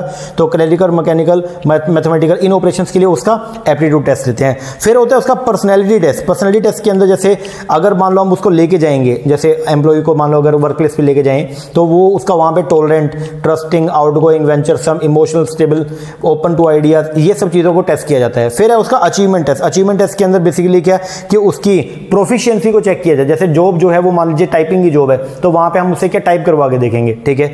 उसके बाद है सिमुलेशन टेस्ट सिमुलेशन टेस्ट के अंदर एम्प्लॉय को जो है एक सिचुएशन दी जाती है, ठीक है? एकदम वर्क प्लेस जैसे उसको बोल देते हैं कि आप बताइए वहाँ पे आप कैसा करेंगे। मतलब एम्प्लॉय जो है वो, जो ये वो टेस्ट है जो एम्प्लॉय फेस करता है वाइलेट वर्क जब काम के ऊपर एक्चुअल काम जो हो रहा है वहाँ पे। एक है ग्राफोलॉजी, जिसके अंदर हम बेसिकली उसकी क्या ग्राफोलॉजी के अंदर उसकी हैंडराइटिंग जो है, उसको, उसका भी टेस्ट होता है अलग से तो उसको बोलते हैं क्या ग्राफोलॉजी। फिर है पोलीग्राफिक टेस्ट। पोलीग्राफिक टेस्ट होता है बेसिकली क्या, जैसे आपका लाइट डिटेक्टर जिसको बोलते हैं तो ये हो गया जैसे सिक्योरिटीज जो होती हैं। लाइक मान लीजिए अगर मोदी की सिक्योरिटी के में कुछ बंदे लगाने तो भाई वो कैसे, वो इंटीग्रिटी वाले बंदे उनके होनेस्ट होने चाहिए? तो अब अगर उनमें कोई मान लो ऐसा मिला जो मोदी को उड़ा दिया उसकी सुपारी ले ले तो फिर पंगा हो जाएगा, नहीं हो जाएगा? तो उसके लिए जो टेस्ट होता है, उसको बोलते हैं पोलीग्राफिक या लाइट डिटेक्टर टेस्ट और एक होता है कौन सा? इंटीग्रिटी टेस्ट इंटीग्रिटी मतलब होनेस्टी का टेस्ट जो है, उसको बोलते हैं क्या? इंटीग्रिटी टेस्ट अगर कोई पर्सन ये सारे टेस्ट को क्या पूरा कर लेगा देन उसके बाद में फिर उसका किया जाएगा क्या? सिलेक्शन इंटरव्यू होगा। अब इंटरव्यू जो है वो भी कई कई तरह के होते हैं। सबसे पहला एक इंटरव्यू होता है जी, जिसको बोलते हैं नॉन डायरेक्टिव। नॉन डायरेक्टिव में इंटरव्यूअर जो होता है, इंटरव्यू लेने वाला, वो कोई भी क्वेश्चन पूछ लेगा इंटरव्यू से तो उसको बोलते हैं नॉन डायरेक्टिव। और एक होता है कौन सा? स्ट्रक्चर्ड या डायरेक्टिव। इसके अंदर पहले एक स्ट्रक्चर मेंटेन होता है, भाई ये कुछ क्वेश्चन है, यही उन्हीं में से ही जो क्वेश्चन को पुटअप किया जाता है। इसके बाद आएगा कुछ आपके सिचुएशनल इंटरव्यू। इसके अंदर जो है वो क्या रहेगा? जो एप्लीकेंट है, उसको कन्फ्रंट करवाया जाएगा, उसको सामना करवाया जाएगा एक हाइपोथेटिकल इंसिडेंट से, एक सिचुएशन से, और देखा जाएगा कि वो सिचुएशन के अंदर कैसा बिहेव करता है। फिर है जी उसका बिहेवियर इंटरव्यू उसमें उसके बिहेवियर को चेक करते हैं। फिर स्ट्रेस इंटरव्यू जैसे मान लो कि एक एक एस, एक स्ट्रेस की सिचुएशन में एम्प्लॉय को डाला जाएगा और देखा जाएगा कि वो एंजाइटी क्रिएट तो नहीं हो जाती है उसको ये सब चेक करने के लिए। फिर ग्रुप डिस्कशन कि वो लोगों के साथ उसका वो व्यवहार कैसा है तो उसके लिए जीडी टेस्ट करवाया जाता है। फिर पैनल या बोर्ड इसके अंदर तीन चार लोग मिलकर जो है एक एम्प्लॉय को जो है वो क्या करते हैं रिक्रूट करने के लिए उसका एक इंटरव्यू लेते हैं। उसको बोलते हैं पैनल और बोर्ड इंटरव्यू अब जब इंटरव्यू हो रहा है तो वहाँ पे कुछ मिस्टेक्स होती है। जो इंटरव्यूअर जो है, वो जनरली कई बार मिस्टेक कर देता है। उस मिस्टेक को पाँच पार्ट में डिवाइड किया गया। सबसे पहले हेलो इफ़ेक्ट हेलो इफ़ेक्ट के अंदर क्या, एक करेक्टरिस्टिक के बेस पर जब अब हम, जब हम एक एम्प्लॉय को जज कर लेते हैं, उसको बोलते हैं जनरली के हेलो इफ़ेक्ट दूसरा होता है लिनियंसी कई बार क्या होता है कि जो रिक्रूट रिक्रूट करने वाला या सिलेक्ट करने वाला जो बंदा होता है तो कई बार क्या होता है कि वो लीनियंट हो गया। उसका कॉन्फिडेंस लैक ऑफ़ कॉन्फिडेंस हो गया या फिर उसका मनी नहीं है, मान लीजिए, क्या करने का? रेटिंग देने का। तो वो क्या, वो सबको एक जैसा ही जो है वो नंबर देना शुरू कर देगा। उसको बोले लीनियंसी फिर एक कैंडिडेट ऑर्डर एरर कई बार क्या होता है कि मान लो ऑर्डर एक रूटीन ऑर्डर से जो है, वो नलायक नलायक लोग आ रहे हैं। तो कोई अच्छा भी आएगा ना तो भी वो उसको यही परसीव करेगा कि बेकार ही। है फिर है प्रोजेक्शन कई बार क्या होता है कि हम जो है, वो प्रोजेक्ट कर जाते हैं क्या? मतलब वो एक इंटरव्यू जब अपनी क्वालिटी उसमें देखना शुरू कर दे कैंडिडेट के अंदर, कि यार, और फिर वो ये देखते हैं कि अगर मेरे जैसा है तो वो उसको सिलेक्ट करेगा, नहीं तो सिलेक्ट नहीं करेगा। तो उसको बोलते हैं क्या? प्रोजेक्शन और फिर तो क्या? स्टीरियो टाइपिंग स्टीरियो टाइपिंग के अंदर बेसिकली क्या? एक पर्टिकुलर पर्सनैलिटी ट्रेड जो है, उसके बेस पर आप उसको जज करते हो। मतलब आपके माइंड में एक साइकी बन गई है। जैसे मान लीजिए इसमें एग्ज़ाम्पल दिया कि जो बिहार बैकग्राउंड से है तो उसके बारे में एक परसेप्शन वैसे बन गई है कि भाई इसकी इंग्लिश जो है इतनी अच्छी नहीं पाएगी। लेकिन आपको मालूम नहीं है कि बिहार से जो पर्सन है, क्योंकि मेरे खुद के कई कई दोस्त भी हैं जो बिहार से हैं और उनकी इतनी धाकड़ इंग्लिश है, मैं क्या बताऊँ आपको? तो अब क्या इसको बोलते हैं स्टीरियो ठीक है ना? अब ये मिस्टेक्स है। अब आपने टेस्ट लिया, आपने इंटरव्यू लिया, उसके बाद अगर आपको लगता है कि कैंडिडेट सुटेबल है तो आप उसका क्या करवाओगे? कुछ केसेस में मेडिकल एग्जामिनेशन में करवाया जाता है कि उसकी कोई डिसीज तो नहीं है, जो संक्रमित हो जाए, जिससे और लोगों को भी नुकसान हो जाए तो उसका टेस्ट करवाया। टेस्ट के बाद में फिर उसकी रेफरेंस को चेक किया जाता है, ठीक है? मतलब हम ये देखते हैं कि वो किन लोगों को जानता है, थोड़ा बहुत हम ये रेफरेंस भी निकालते हैं, ठीक है? और एट द एंड में हम क्या करते हैं? हायरिंग डिसीज़न लेते हैं। हायरिंग डिसीज़न आपने ले लिया, अब वहाँ पे ऑर्गेनाइजेशन जो है, वो उसको क्या कर देगी लेटर दे देगी और बोलेगी, जी, आप जो रिक्रूट आप जो सिलेक्ट हो चुके हैं। इसके बाद में एक टर्म आता है कॉम्पिटेंसी मैपिंग कॉम्पिटेंसी मैपिंग जो बेसिकली क्या होता है? It is a it refer to the key attribute in the skill required एक जॉब जो है, जो एक वैकेंट जॉब है तो उसके लिए क्या स्किल की रिक्वायरमेंट है? ठीक है? तो उसके लिए हम लोग क्या करते हैं? हम कॉम्पिटेंसी को मैप करने का काम करते हैं। भाई एक बंदा जिसके पास में वो वो स्किल है, और जो जिसको स्किल की रिक्वायरमेंट है तो वहाँ पे उसको मैच करवाने के लिए हम लोग जो है वो करते हैं कॉम्पिटेंसी मैपिंग ये एक टर्म है, इसको एक बार रीडिंग कर लीजिएगा। मैंने आपको पढ़ा दिया था वैसे। अब है जी प्लेसमेंट जब आपने जो है एक एम्प्लॉय को सिलेक्ट कर लिया तो अब आपकी ड्यूटी क्या है कि आप उसको जो है वो क्या करेंगे? जगह पे लेके जाएँगे, उसको प्लेस करेंगे। अब प्लेसमेंट के अंदर बेसिकली जो है वो क्या होता है? Placement is the actual posting उसको एक्चुअल पोस्टिंग करते हैं एम्प्लॉय की किस पे? स्पेसिफिक जॉब पे. तो उसको बोलते हैं आप लोग क्या? प्लेसमेंट प्लेसमेंट करने के बाद में अब आप क्या करोगे? वहाँ पर उसको जॉब से इंट्रोड्यूस करवाओगे। उसके लिए जो एक्टिविटी की जाती है, उसको बोलते हैं हम लोग क्या? इंडक्शन या फिर क्या? ओरिएंटेशन तो यहाँ पे नया जो एम्प्लॉई है, उसको ऑर्गेनाइजेशन की पॉलिसी से और ऑर्गेनाइजेशन के अंदर जो और एग्जिस्टिंग एम्प्लॉई है, उनके उनके साथ उसको क्या करवाने का? उसको इंट्रोड्यूस करवाने का काम किया था, उसको बोलते हैं हम लोग क्या इंडक्शन या फिर क्या बोलते हैं उसको ओरिएंटेशन ओके हाँ जी, ये है जी आपका प्रोसेस किसका? सिलेक्शन का। इसके बाद में अगला जो चैप्टर आता है जी, वो है जी कौन सा आपका? ट्रेनिंग एंड डेवलपमेंट अब अगर बात करते हैं ट्रेनिंग एंड डेवलपमेंट का तो चैप्टर नंबर फोर के अंदर बेसिकली हम जो है वो देखेंगे ट्रेनिंग के मेथड्स को ओके हाँ जी, अब देखो आपने जो है वो क्या किया? आपने रिक्रूटमेंट किया था, फिर आपने सिलेक्शन किया। सिलेक्शन करने के बाद में एम्प्लॉय को आपने लगा दिया। अब उसको अगर कोई स्पेसिफिक टास्क सिखाना है तो उसके लिए बेसिकली हम लोग जो है वो ट्रेनिंग की शुरुआत करते हैं। तो ट्रेनिंग जो है वो बेसिकली क्या होता है? अगर हम बात करें ट्रेनिंग का तो ट्रेनिंग का जो मेन एम होता है, वो क्या होता है? कि एक पर्सन को जॉब रिलेटेड कॉम्पिटेंसीज के अंदर क्या करना, उसको निपुण करना तो उसके लिए हम लोग जो है उसको देते हैं क्या? ट्रेनिंग ट्रेनिंग के अंदर जो है वो क्या आएगा? हम एक पर्सन की स्किल्स को मतलब training involve the changing the skill knowledge attitude and the behaviour ये सब जो है वो पार्ट है किसका? आपके ट्रेनिंग का। तो ट्रेनिंग के अंदर हम लोग जो है क्या अब ये क्या बोलते हैं इसका बेसिक क्या? After employee has been selected एक बार अगर आपने एम्प्लॉय को क्या करें सिलेक्ट कर दिया for the various position in the organisation तो training them for the specific task to which they have been assign assume great importance it is true in many organisation that before an employee is fitting into harmonious working relationship with the employee he has given the adequate training कि जब भी हम किसी person को जो है वो job पे लेके जा रहे हैं तो उससे पहले आप उसको जो है वो क्या दे दो? एडिक्वेट ट्रेनिंग दे दीजिए। तो ट्रेनिंग जो है उसके कुछ फीचर करके सबसे पहले ट्रेनिंग जो है वो क्या करती है? इंक्रीज करता है knowledge and the skill for doing a particular job training का जो मेन फोकस होता है वो होता है attention on the current job के ऊपर. ट्रेनिंग जो है वो क्या कंसंट्रेट करता है? इंडिविजुअल एम्प्लॉय को. और ट्रेनिंग का जो फोकस है थोड़ा नैरो होता है एक कंसर्न जॉब के ऊपर ही बस उसका फोकस होता है बाकी चीज़ों को वो कंसिडर नहीं करता। एंड रिलेटिवली परमानेंट चेंज लेके आते हैं किसके अंदर? एक एम्प्लॉय के बिहेवियर में। अच्छा जी। ट्रेनिंग में और डेवलपमेंट में कुछ फ़र्क है। डेवलपमेंट एक वाइडेड प्रोस्पेक्ट का मतलब आप ना इसको समझने के लिए ये, ये देखिएगा कि ट्रेनिंग जो है वो की जाती है किसके लिए? अगर हम बात करें ट्रेनिंग का तो ट्रेनिंग जो है वो हो रही है आपके छोटे लेवल के लोगों के लिए ठीक है? और जो आपका डेवलपमेंट है वो है मैनेजीरियल लेवल के लोगों के लिए। चलो ट्रेनिंग जो है वो क्या? मतलब हु सबसे पहला तो ट्रेनिंग जो है वो देते हैं आपके को नॉन मैनेजीरियल पर्सोनल और जो डेवलपमेंट है वो मैनेजीरियल वर्ड ट्रेनिंग में क्या उसमें टेक्निकल मैकेनिकल ऑपरेशन के बारे में नॉलेज या कंसेप्चुअल आइडियाज़ के बारे में नॉलेज दी जाती है। जबकि अगर बात करूँ डेवलपमेंट का तो वहाँ पर थियोरिटिकल नॉलेज फिर वाई ट्रेनिंग क्यों दी जाती है? स्पेसिफिक जॉब रिलेटेड स्किल्स के लिए और जो डेवलपमेंट है वो होती है आपके जनरल नॉलेज के लिए। ट्रेनिंग कब दी जाती है? शॉर्ट टर्म के लिए होती है और जो डेवलपमेंट है वो लॉन्ग टर्म ट्रेनिंग का जो स्कोप है वो क्या फोकस ट्रेनिंग फोकस करते हैं इंडिविजुअल पे। जबकि अगर बात करूँ डेवलपमेंट उसका फोकस है होल वर्क ग्रुप के ऊपर। ट्रेनिंग में जो है हम क्या करते हैं, एक पर्सन को मोटिवेट करते हैं कैसा रिज़ल्ट होता है मैनेजमेंट इनिशिएटिव एंड जो आपका डेवलपमेंट है, उसमें क्या इट रिज़ल्ट होता है inspiration coming from within जब एक पर्सन के अंदर से जो बात निकलती है। ट्रेनिंग का जो एम है वो क्या होता है current need of the job and the individual को क्या करना, पूरा करना, ठीक है? करंट जो रिक्वायरमेंट है जॉब की, उसको बस पूरा करना। और जो डेवलपमेंट है वो क्या है फ्यूचर नीड के बारे में बेसिकली डेवलपमेंट की जाती है। अब इसके बेनिफिट की अगर बात करेंगे तो बेनिफिट बिज़नेस को क्या बेनिफिट होगा? सबसे पहले ट्रेंड वर्कर और मोर एफिशिएंट जो ट्रेंड वर्कर है वो ज़्यादा एफिशिएंट होते हैं। दूसरा सेफ्टी का ध्यान रहेगा क्योंकि जो ट्रेन ट्रेन वर्कर होगा तो उसकी वजह से कोई जो है एक्सीडेंट नहीं होगा। फिर ट्रेनिंग ट्रेंड वर्कर जो वो सुपीरियर परफॉर्मेंस देगा, जिससे ऑर्गेनाइजेशन को बहुत बेनिफिट मिलेगा। And training makes employees more loyal training से जो है एम्प्लॉय लोयल होगा, क्योंकि वो सेटिस्फाई भी रहेगा।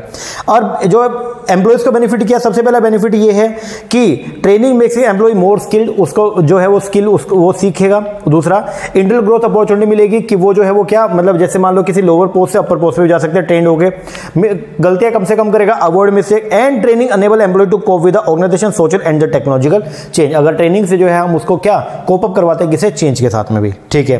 अब बात हो रही है टाइप ऑफ़ ट्रेनिंग का। अलग अलग तरह की ट्रेनिंग होती है सबसे पहला स्किल स्किल ट्रेनिंग के अंदर बेसिकली हम लोग जो है, वो क्या करते हैं? एक बेसिक स्किल सिखाने का जो है, जब मान लीजिए, और आप एम्प्लॉय को, आपका जो एम्प्लॉय है, उसको बेसिक स्किल सिखाने का काम करते हैं तो उसका बोलते हैं क्या? स्किल ट्रेनिंग ठीक है? ये बिल्कुल सिंपल लोअर लेवल की।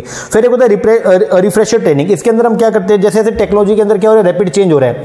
तो उसको नई टेक्नोलॉजी से अवगत करवाने के लिए, जो उसकी या उसकी जो करंट नॉलेज में में इंक्रीमेंट करने के लिए जो आप ट्रेनिंग उसको प्रोवाइड करते हैं, उसको बोलते हैं आप लोग क्या? रिफ्रेशर फिर होता है क्रॉस फंक्शनल उसके अंदर हम क्या करते हैं? जब एक एम्प्लॉय को दूसरी फ़ील्ड की नॉलेज देनी है तो उसके लिए करते हैं हम लोग क्या? क्रॉस फंक्शनल ट्रेनिंग एक होता है आपका टीम ट्रेनिंग इसके अंदर क्या? कि एक पर्सन दूसरों के साथ में कोऑपरेट करके काम करे. तो उसको, उसके लिए, उस पर्सन के लिए हम लोग जो टीम ट्रेनिंग की जो है, उसके लिए प्रावधान करते हैं. एक होता है क्रिएटिविटी ट्रेनिंग इसके अंदर हम बेसिकली एम्प्लॉय को एनकरेज करते हैं कि वो आउट ऑफ़ द बॉक्स आके सोचे। तो बल्कि कंपनी खुद उसका एंगेज करती है कि वो नए नए आइडिया को लेके उसको, उसके लिए जो ट्रेनिंग हम उसको देते हैं, उसको बोलते हैं क्रिएटिविटी फिर आएगा डाइवर्सिटी एक एम्प्लॉय जो अलग अलग कल्चर के अंदर भी काम कर सके मतलब क्रॉस कल्चर में भी काम कर सक, काम कर सके उसके लिए उसको ट्रेनिंग देना उसका बोलते हैं कि डाइवर्सिटी फिर आएगा आपका लिटरेसी लिटरेसी के अंदर जैसे मान लो कि उसका लिटरेसी लेवल जो है एबिलिटी टू रीड राइट ये सब बढ़ाना उसके लिए हम उसको लिटरेसी ट्रेनिंग देते हैं। और एक होता है कौन सा ओरिएंटेशन जब नए बंदे आते हैं तो नए बंदों को जब पोस्ट के बारे में बताया जाता है कि भाई ये आपका काम है उसके लिए उनको जो हम ट्रेनिंग देते हैं उसको हैं क्या? ओरिएंटेशन ट्रेनिंग अब बात होती है कि एरिया ट्रेनिंग में जो है वो किस किस एरिया को आप टच करते हो तो उसमें आप नॉलेज नॉलेज भी गेन करवाते हो टेक्निकल स्किल भी आप दे सकते हो सोशल स्किल भी आप प्रोवाइड करते हो, और नई नई टेक्निक सिखाने का भी काम करते हो। अब है जी, इसका ट्रेनिंग का एक ना सिस्टमेटिक अप्रोच होती है। आपके नोट्स के अंदर पेज नंबर 37 पे है, उसमें आपको मैंने बताया, इसमें assessment implementation and the evaluation training में हम सबसे पहले जो है वो क्या करते हैं असेसमेंट करते हैं। मतलब कि क्या ट्रेनिंग की नीड भी है या नहीं है, वो हमने देख लिया असेस कर लिया, ठीक है? उसका ऑब्जेक्टिव सेट करते ट्रेनिंग का। ऑब्जेक्टिव सेट करने के बाद फिर हम क्या करते हैं? इंप्लीमेंटेशन करते हैं। इंप्लीमेंटेशन के अंदर बेसिकली हम लोग जो है वो क्या करते हैं कि ट्रेनिंग का मेथड क्या अपने को देखना है, वो हम देखते हैं। और फिर लास्ट में क्या हमने वो मेथड सेलेक्ट करके और ट्रेनिंग को कंडक्ट करते हैं, शुरुआत करते हैं और एट दी एंड में जाकर के हम देखते हैं कि क्या ट्रेनिंग से हमको कोई बेनिफिट मिला भी है या नहीं, जिसके लिए हम क्या करते हैं इवेल्युएशन करते हैं। तो इवेल्युएशन में हम क्या करते हैं कंपेयर करते हैं ट्रेनिंग आउटकम को अगेंस्ट द क्राइटेरिया नीचे आपको मिलेगा ना जो डिज़ाइनिंग है ट्रेनिंग प्रोग्राम उसके अंदर आपको चार स्टेप दे रखे हैं। पहले दो स्टेप ऊपर असेसमेंट का ही पार्ट है। जो थर्ड स्टेप है ऑर्गेनाइजिंग का, वो इंप्लीमेंटेशन का पार्ट है और जो आखिरी स्टेप है इवेल्यूशन वो तो इवेल्यूशन का पार्ट है। इसके बाद है principle of training principle training में सबसे पहले आता है मॉडलिंग अगर बात करूँगा मॉडलिंग का तो मॉडलिंग के अंदर जो है हम ये बोलते हैं कि हम दिखा के मतलब जो है एक पर्सन जो कोई काम कर रहा है, उसको दिखा के दूसरे अपने एम्प्लॉय को सिखाने का काम करता है। उसको बोलते हैं कि मॉडलिंग क्योंकि देख के इंसान सबसे जल्दी सीखता है, ठीक है? इसके बाद मोटिवेशन उसको मोटिवेट भी टाइम टू टाइम पे हम करते रहते हैं। ये प्रिंसिपल्स है, जब आप ट्रेनिंग दे रहे हो, ठीक है? जब एक पर्सन को आप ट्रेन कर रहे हो तो उस टाइम पे इन इन बातों का आपको ध्यान रखना चाहिए। These are the valid principle इनको आपको ट्रेनिंग के दौरान फॉलो करना चाहिए।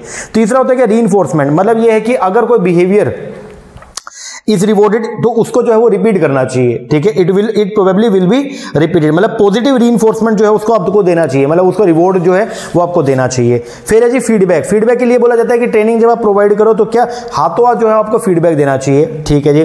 फिर है स्पेस प्रैक्टिस ट्रेनिंग ऐसा नहीं कि एक बार बस ट्रेनिंग दे दी और काम खत्म हो गया। रूटीन में कुछ कुछ समय के बाद में आपको प्रैक्टिस भी करवानी चाहिए, ताकि एम्प्लॉय जो है उसकी वो जो स्किल है वो ताज़ा भी रहे। फिर है होल लर्निंग जब भी आप ट्रेनिंग दो, पहले एम्प्लॉय को जो है पूरे एक ब्रॉड ओवरव्यू आपको देना चाहिए। और फिर है एक्टिव प्रैक्टिस रूटीन में वो प्रैक्टिस वाला।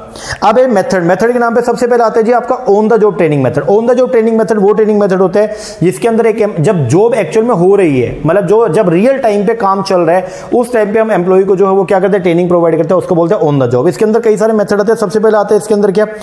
जे आई टी बोलते जॉब इंस्ट्रक्शन ट्रेनिंग इसके अंदर हम जो है वो क्या करते हैं, सबसे पहले एम्प्लॉय को जो है वो एक ओवरव्यू देते हैं। जिसको ट्रेन करना है ना तो ट्रेनर जो होगा, जो ट्रेनिंग देने वाला, वो क्या करेगा? पहले अपना एक ओवरव्यू जो है वो प्रेजेंट करेगा जॉब के रिगार्डिंग ठीक है? पूरी जॉब का जो है, वो क्या देगा? उसको एक ओवरव्यू देगा। फिर उसको डेमो देगा भी, ऐसे काम करना है और शोधा भी, उसको तरीका बताएगा। फिर वो जो एम जो ट्रेनी है, वो क्या करेगा? कॉपी करेगा और हैंडल करेगा जॉब को इंडिपेंडेंट तरीके से। और आखिरी में जो ट्रेनर है, वो क्या करेगा? फॉलोअप करेगा। इसको बोलते हैं जीआईटी जॉब इंस्ट्रक्शन ट्रेनिंग जिसके अंदर जो है रियल टाइम पे जॉब के दौरान जो है, वो इंस्ट्रक्शन दी जाती है, इस तरीके से आपको जो है, वो काम करना है। इसके बाद आते जी आपका कोचिंग कोचिंग जो है इसमें फ़र्क यह है कि कोचिंग में डेली ट्रेनिंग होती है। कोचिंग जो है वो कि it is a kind of daily training and feedback given to the employee by the immediate supervisor जो उसका इमीडिएट सुपरवाइजर है, वो डेली उसको क्या करता है? ट्रेन करता है, उसको जो है फीडबैक देने का काम करता है। उसको बोलते हैं आप क्या? कोचिंग फिर आएगा मेंटोरिंग मेंटोरिंग होता है मेंटर मेंटोर बोलते हैं जिसको आप लोग। ये होता है सीनियर मैनेजर्स के लिए। ये वर्ड आपको ध्यान देना पड़ेगा। मेंटोर के अंदर बेसिकली क्या mentoring is a relationship in which senior manager जब, जो, जब एक फॉर्म का सीनियर मैनेजर ठीक है ऑर्गेनाइजेशन का, वो एज्यूम करता है responsibility for grooming a junior person तो अपने जूनियर पर्सन को ग्रूम करने के लिए, उनको ट्रेन करने के लिए जब सीनियर मैनेजर जो है वो जो एक्टिविटी परफॉर्म करता है, उसको बोलते हैं आप लोग क्या? मेंटोरिंग मेंटोरिंग मेंटोर के बाद में फिर आएगा आपका जॉब रोटेशन जॉब रोटेशन के अंदर बेसिकली ट्रेनिंग ये भी एक तरीका ट्रेनिंग का। इसमें क्या? कि अलग अलग फंक्शनल एरिया की नॉलेज दी जाती है। मतलब एक पर्सन जो किसी एक कंसर्न जॉब में था, किसी एक डिपार्टमेंट में था, उसको उस डिपार्टमेंट से दूसरे डिपार्टमेंट में भेजा जाता है। तो उसके लिए जो है वो होती है कि जॉब रोटेशन उसको रोटेट किया जाता है। फिर कुछ है जी आपका अप्रेंटिसशिप ट्रेनिंग इसके अंदर बेसिकली क्या होता है? जैसे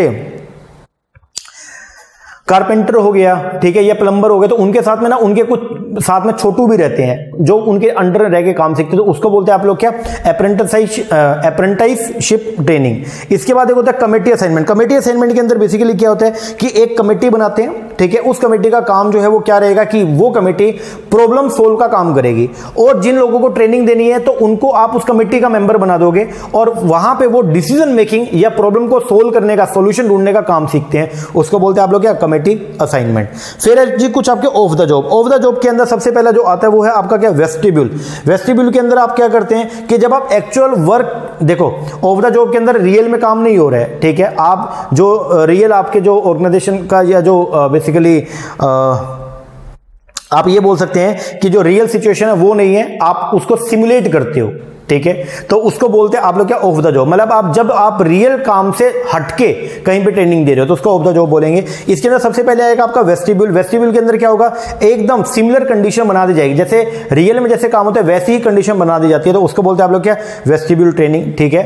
तो उसके लिए जो ट्रेनिंग प्रोवाइड की जाती है, वो है आपका वेस्टिब्यूल जैसे रियल टाइम में एकदम ऑफ़िस बना दिया जाएगा। वही फाइल्स फूल सब कुछ जो है वहाँ रख दी जाएँगी। और फिर एक एम्प्लॉय को बोला बोला वहाँ पर जब सिखाया जाए एम्प्लॉय को तो उसको बोलते हैं वेस्टिब्यूल ठीक है? जैसे मान लो प्लेन उड़ाना सिखाना है तो उसके लिए या फिर कोई लेबोरेटरी टेस्टिंग होती है तो वहाँ पे क्या मतलब रियल टाइम पे कैसे काम होता है तो उसके लिए पहले एक खाका बना दिया जाता है, ठीक है? और वहाँ पे जाके उसको सिमुलेट करवाया जाता है कि उसी, वही ऐसी सिचुएशन मिलेगी आपको रियल टाइम पे, ठीक है? तो इस सिचुएशन में आपको कैसे काम करना है तो उसके लिए ट्रेनिंग दी जाती है, उसको बोलते हैं वेस्टिब्यूल फिर आपका रोल प्लेइंग रोल प्लेइंग के अंदर बेसिकली क्या करते हैं, ये भी एक मेथड है जिसके अंदर एक पर्सन जो है इंटरेक्ट करता है रियलिस्टिक बिहेवियर से इन ए इमेजिनरी सिचुएशन एक इमेजिनरी सिचुएशन क्रिएट की जाती है और उसके अंदर एक एम्प्लॉय कैसे बिहेव करेगा तो उससे उसको रियलिस्टिक सिचुएशन उसको डील करवाया जाता है। उसको बोलते हैं क्या? रोल प्लेइंग फिर आएगा जी लेक्चर मेथड ये तो नॉर्मल था। लेक्चर मेथड जो है, वो ट्रेडिशनल मेथड जिसके अंदर जो है एक पर्सन होगा लेक्चरर वो क्या करेगा? वो इंस्ट्रक्शंस को जो है डायरेक्ट मेथड होता है इंस्ट्रक्शन का तो वो क्या क्या करेगा? लोगों को लेक्चर दे जो है उनको ट्रेन करने का काम करेगा। फिर होते हैं कुछ कॉन्फ्रेंस कॉन्फ्रेंस के अंदर बेसिकली ट्रेनर जो है वो एक लेक्चर को डिलीवर करेगा और सब स्पेशल बात यह है कि वो उनके डाउट को भी क्या करेगा? इनवाइट करेगा। और उनकी जो डाउट है, उनको साथ साथ क्लैरिफाई करेगा। लेक्चर में डाउट क्लैरिफिकेशन नहीं होता क्योंकि लेक्चर के अंदर जो लेक्चरर होगा, वो ओनली बस बोलना शुरू करेगा। ट्रेनर बोलेगा और बोल के चला जाएगा, लोगों को सिखा के चला जाएगा। लेकिन अगर क्रॉस क्वेश्चनिंग जो है, वो होती है जनरली आपकी कहाँ पे? कॉन्फ्रेंसिस में या फिर कहाँ? डिस्कशन में।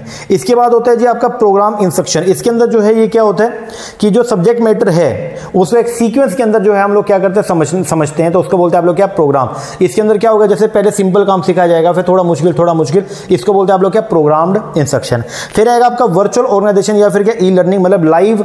ये इसमें बस एक बात ध्यान रखना कि जो आपके लाइव ऑडियो वीडियो डिस्कशन के थ्रू जो आप ये काम करते हो मतलब a virtual classroom employ special collaboration software to enable multiple remote learner using their PC और laptop to participate in the live video and the visual discussion. Communicate via return text और learn via content, such as power management PPT हो गया, ये इनके through जब आप उनको क्या करते हो, सिखाने का काम करते हो, इसको बोलते हैं आप लोग क्या? वर्चुअल ऑर्गेनाइजेशन इसके बाद है आपका आखिरी जो होता है, वो है आपका बिहेवियर एक्सपीरियंस ट्रेनिंग इसके अंदर बेसिकली जो है, वो क्या कहता है, उनके बिहेवियर को सिखाने का काम कहता है। भाई, आपको जो है वर्क वर्क एक्चुअल वर्क पे या एक वर्क जॉब पे जो है, वो आपको कैसा बिहेवियर मेंटेन करना है तो उसको सिखाने का काम किया था उसको बोलते हैं बिहेवियर एक्सपीरियंस ट्रेनिंग अब इवेल्युएट करोगे। आपने ट्रेन तो कर दिया पर्सन को, अब आपको टाइम टू टाइम जो है, वो आप क्या करते हो, उनको इवेल्युएट भी करते हो कि आपने जो उनको ट्रेनिंग दिया, उसका कोई फ़ायदा भी हुआ या नहीं हुआ? अब आप इवेल्यूशन जो है वो कब करते हो? मतलब ट्रेनिंग का फ़ायदा हुआ या नहीं हुआ? इस चीज़ को चेक करते हो तो उसके लिए आप लोग जो है वो तीन तरीके से करते हो। सबसे पहले बिफोर ट्रेनिंग आप देखते हो कि एम्प्लॉय का जो है वो कैसा है बिहेवियर कैसा है। फिर ड्यूरिंग ट्रेनिंग भी आप देखते रहते हो, उसको थोड़ा थोड़ा काम देते हो। आप बोलते हो कि करके दिखाना, एक बार करके दिखाना। और फिर होता है आफ्टर ट्रेनिंग आप चेक करते हो कि पहले वाला बिहेवियर और बाद वाले बिहेवियर में क्या है। अब ट्रेनिंग को इवेल्यूट करने के जो है पाँच तरीके, इसका सिर्फ़ नाम नाम याद करके जाना है। जैसे आपका रिएक्शन लर्निंग जो behaviour organisation and the ultimate value इसके बाद आता है जी आपका एग्जीक्यूटिव डेवलपमेंट अगर बात करूँगा एग्जीक्यूटिव डेवलपमेंट का तो इसके अंदर क्या है कि हम एग्जीक्यूटिव मतलब एक जो हमारे मैनेजीरियल लेवल के लोगों को जब आप ट्रेनिंग दे रहे हो तो वो जनरली पार्ट होता है किसका एग्जीक्यूटिव डेवलपमेंट का। तो इसके अंदर बेसिकली क्या? डेवलपमेंट जो है वो एक एजुकेशन प्रोसेस है। ये ध्यान देना पड़ेगा। डेवलपमेंट जो है वो क्या? एक एजुकेशन प्रोसेस है। As it try to enhance a one ability to understand and interpret the knowledge in a useful way तो development is different from training development जो वो ट्रेनिंग से क्या है? अलग है। ठीक है? डेवलपमेंट जो वो ट्रेनिंग से क्या है जी? अलग है। In in that it is often the result of experience and the maturity that comes with it ठीक है? इसके अंदर ज़्यादा मैच्योरिटी की बात करते हैं और ये फ्यूचर के लिए होता है, ठीक है ना? It is possible to train most people to drive a vehicle अब ये ध्यान, ये एक एग्ज़ाम्पल से सारा कहानी सेट हो जाएगी।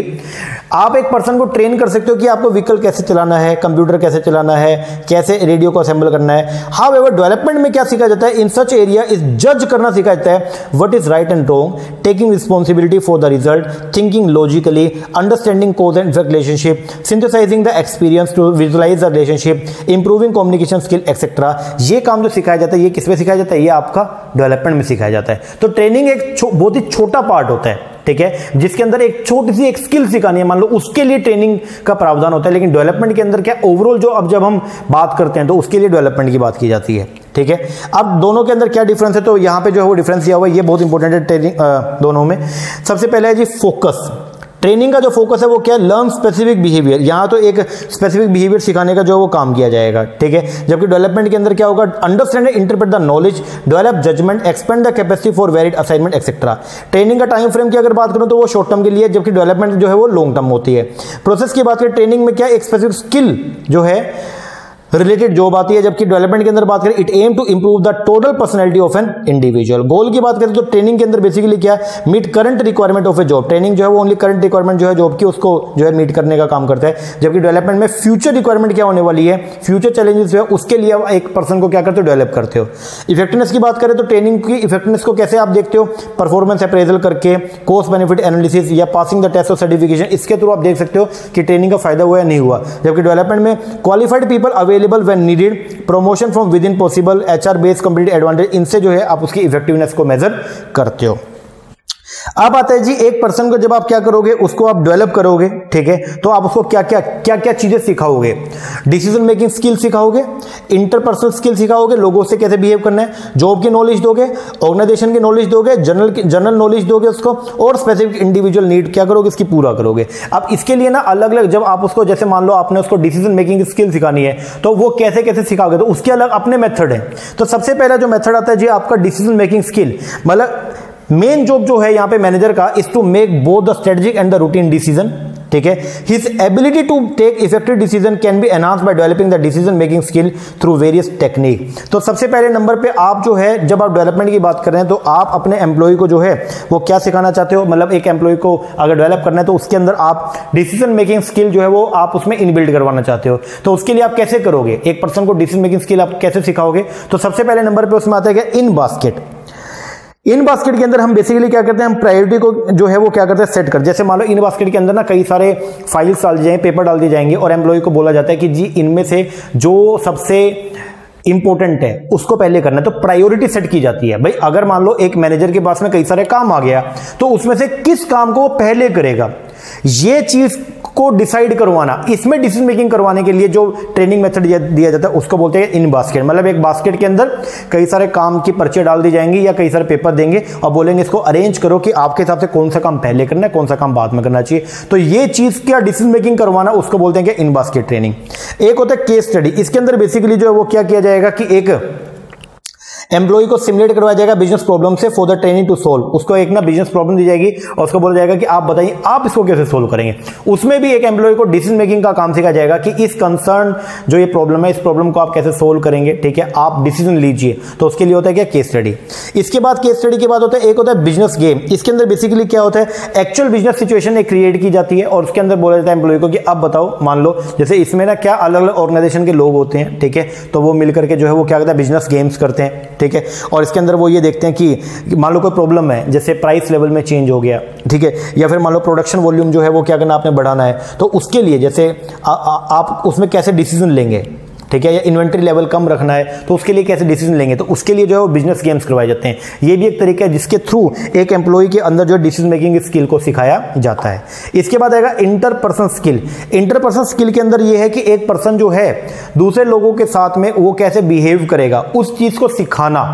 ठीक है? मतलब रिलेशन को मेंटेन करवाने के लिए बेसिकली इंटरपर्सन स्किल भी सिखाई जा, सिखाई जाती है। उसके अंदर उसको रोल प्ले करवाया जाता है।